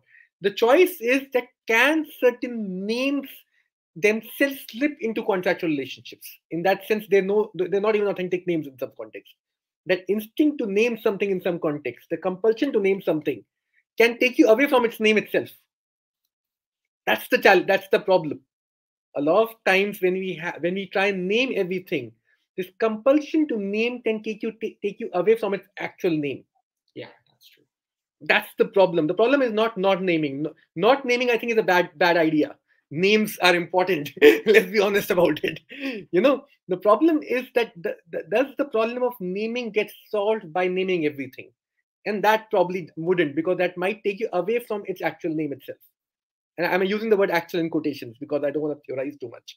But uh, i think that that, that should be thought about in, in a very nuanced manner. A lot of times naming something can itself take you away from its name so to say. You know and how do we think through that that kind of a problem? And that's a problem of sexuality. It's a little bit liberal economic question. In sexuality also similar problem emerges you know. You uh, simple permissivity with sexuality doesn't actually overcome the problem the resistance of sexuality itself. That that problem actually emerges and somewhere naming everything is is, that sexual um, you know instinct where we think that you allow sexual drive to run it through and that will solve the problem. That might not solve the problem of sexuality in, in that sense. On um, javier yeah please answer cadell's question. I'm sorry i took too long. Yeah. Oh no i mean that that's all i was going to say. I mean I, I, was just saying like I, I feel like i feel like you kind of addressed it chetan where it was like like when heidegger talks about like sometimes just talking about it like when you're talking about something it like it turns itself around it's almost like you wanted it, you, it wants to be paid attention to, but you don't call it, you, you know, because it, but it's just you're paying attention to it that it turns the other way around. That, that that's what I was trying to get at. And I feel like that's like the tricky part. And that's why, like you said, like the, the not naming and the naming, that's kind of like it doesn't capture the movement of the actual thing. See, uh, Javier, I, I was not, you know, uh, uh, I would not try and sort of think that I know Heidegger and something. But I think what you're raising is a much more, much more uh, important question than we are discussing somewhat. That's the question of the outside, outside of language in that sense. How do we, how do we, and that's what Heidegger's some kind of a problem was that, that, and, and you're right, in, in that sense that, that naming something actually assumes it to be inside you know you, you, naming something as you said has a violence because you assume that it is already a part of what you know you already put it into a certain network of signifiers as as lacan would put it in that sense and, and, and heidegger's problem actually always remains that how do you find this authentic relationship with the outside I'm not sure I would agree with Heidegger's solution to that problem. And that's a more complicated question to think about. That that uh, can that problem be solved outside language? Uh, uh, Cadell would be a good person to uh, you know uh, sort of bring Lacan here, and when he says the imaginary symbolic discussion, to and, and, how do we bring Lacan and Heidegger into a conversation over there is much more, I think, a tricky business to think about. Uh, well, on that on that point, I, I, on that point, I'll just say that where Heidegger says language is the house of being, Lacan says language is the the torture house of being. Is, but I, I, also I also want to be mindful of the time, and I know Ebert actually has to leave soon. So I was thinking that maybe we can give some short reflections on the the, the you know the basic the basic theme of this talk here: teacher, idols, and masters. Um, and maybe specifically like a little summary of, of how we're how we're um, feeling about this conversation and maybe some some takeaway point that you might want to leave uh, viewers or, or listeners with. Um any anyone who wants to to pick up on that. Ebert if you if you want to if you want to start i know you got a sure yeah. Um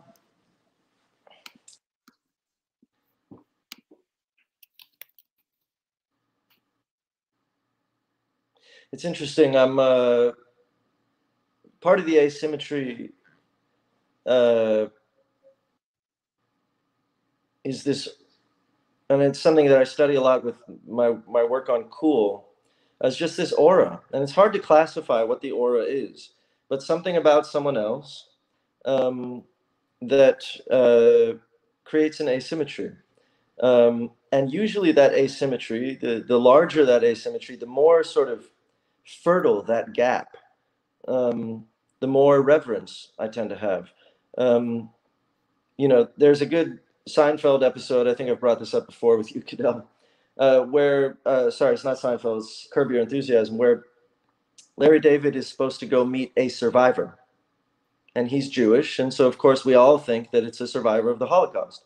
And everyone gets ready and they're prepared, and they go to meet this survivor, and it turns out to just be a television show uh, guest on a show called Survivor.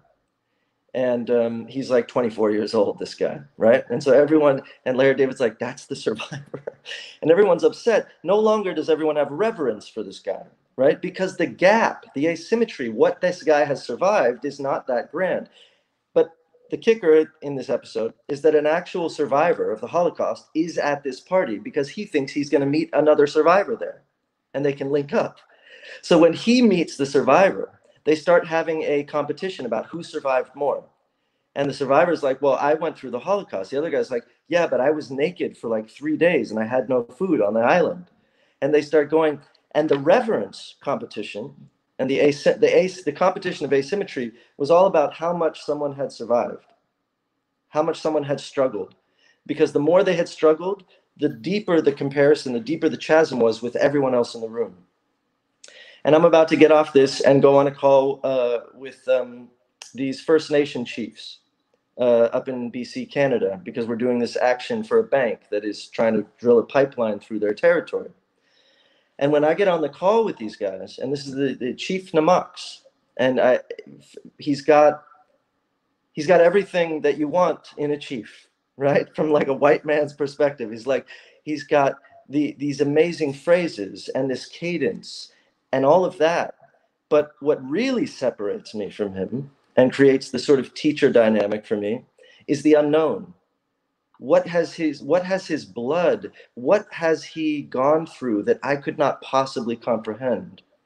What has been transferred down through the generations into him that I cannot possibly comprehend? All of these uh, struggles and things that he's survived, and um, and then I get back to again duration um, and uh, an effect and um, and I guess I guess I'll just leave it with that is that there's there's something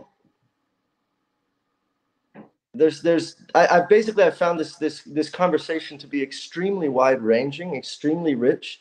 Um, I could say so much um, that my mind is sort of shattering at the moment, but um, yeah, there's just I just enjoyed the conversation. I have to wrap this up, so my mind's a little scattered, but um, I could do this again. I feel like there's 8.0s of this. It's a very rich, uh, conversation. So thank you guys, and I'm I'm gonna have to scoot off to grab on this call, but um, thank you so much for hanging out. And cheers. Thank you, Bert. Thank All you. right. All right, guys, just the three of us. Any any any final final thoughts or reflections from from either of you here? Yeah, I, I, I got some. Um, I think Chetan talking about the actualization of authority made me realize there's that we don't actually know what a real student teacher relationship is anymore um, because it's so dispersed that even the teacher feels like he doesn't have authority. He's just teaching the subject of what the institution wants. And of course, what does the institution wants? The institution always deflects authority by saying it's what these people want. Um, and I feel like that that is a problem. And um, this this idea of I didn't know how sacred naming was until we really started talking about it. You know, this idea of like, well, we can't just name everything, and then we can't just not name it. Um, and then so it started making me think of like symbols. Symbols play as both, don't they? You can name it, but then at the same time, it escapes the naming. Like you, you can't really uh, exhaust the the the sort of like presence of it. And and, and i don't know I, i'm i'm that's where i'm thinking that's why i'm left thinking about it now.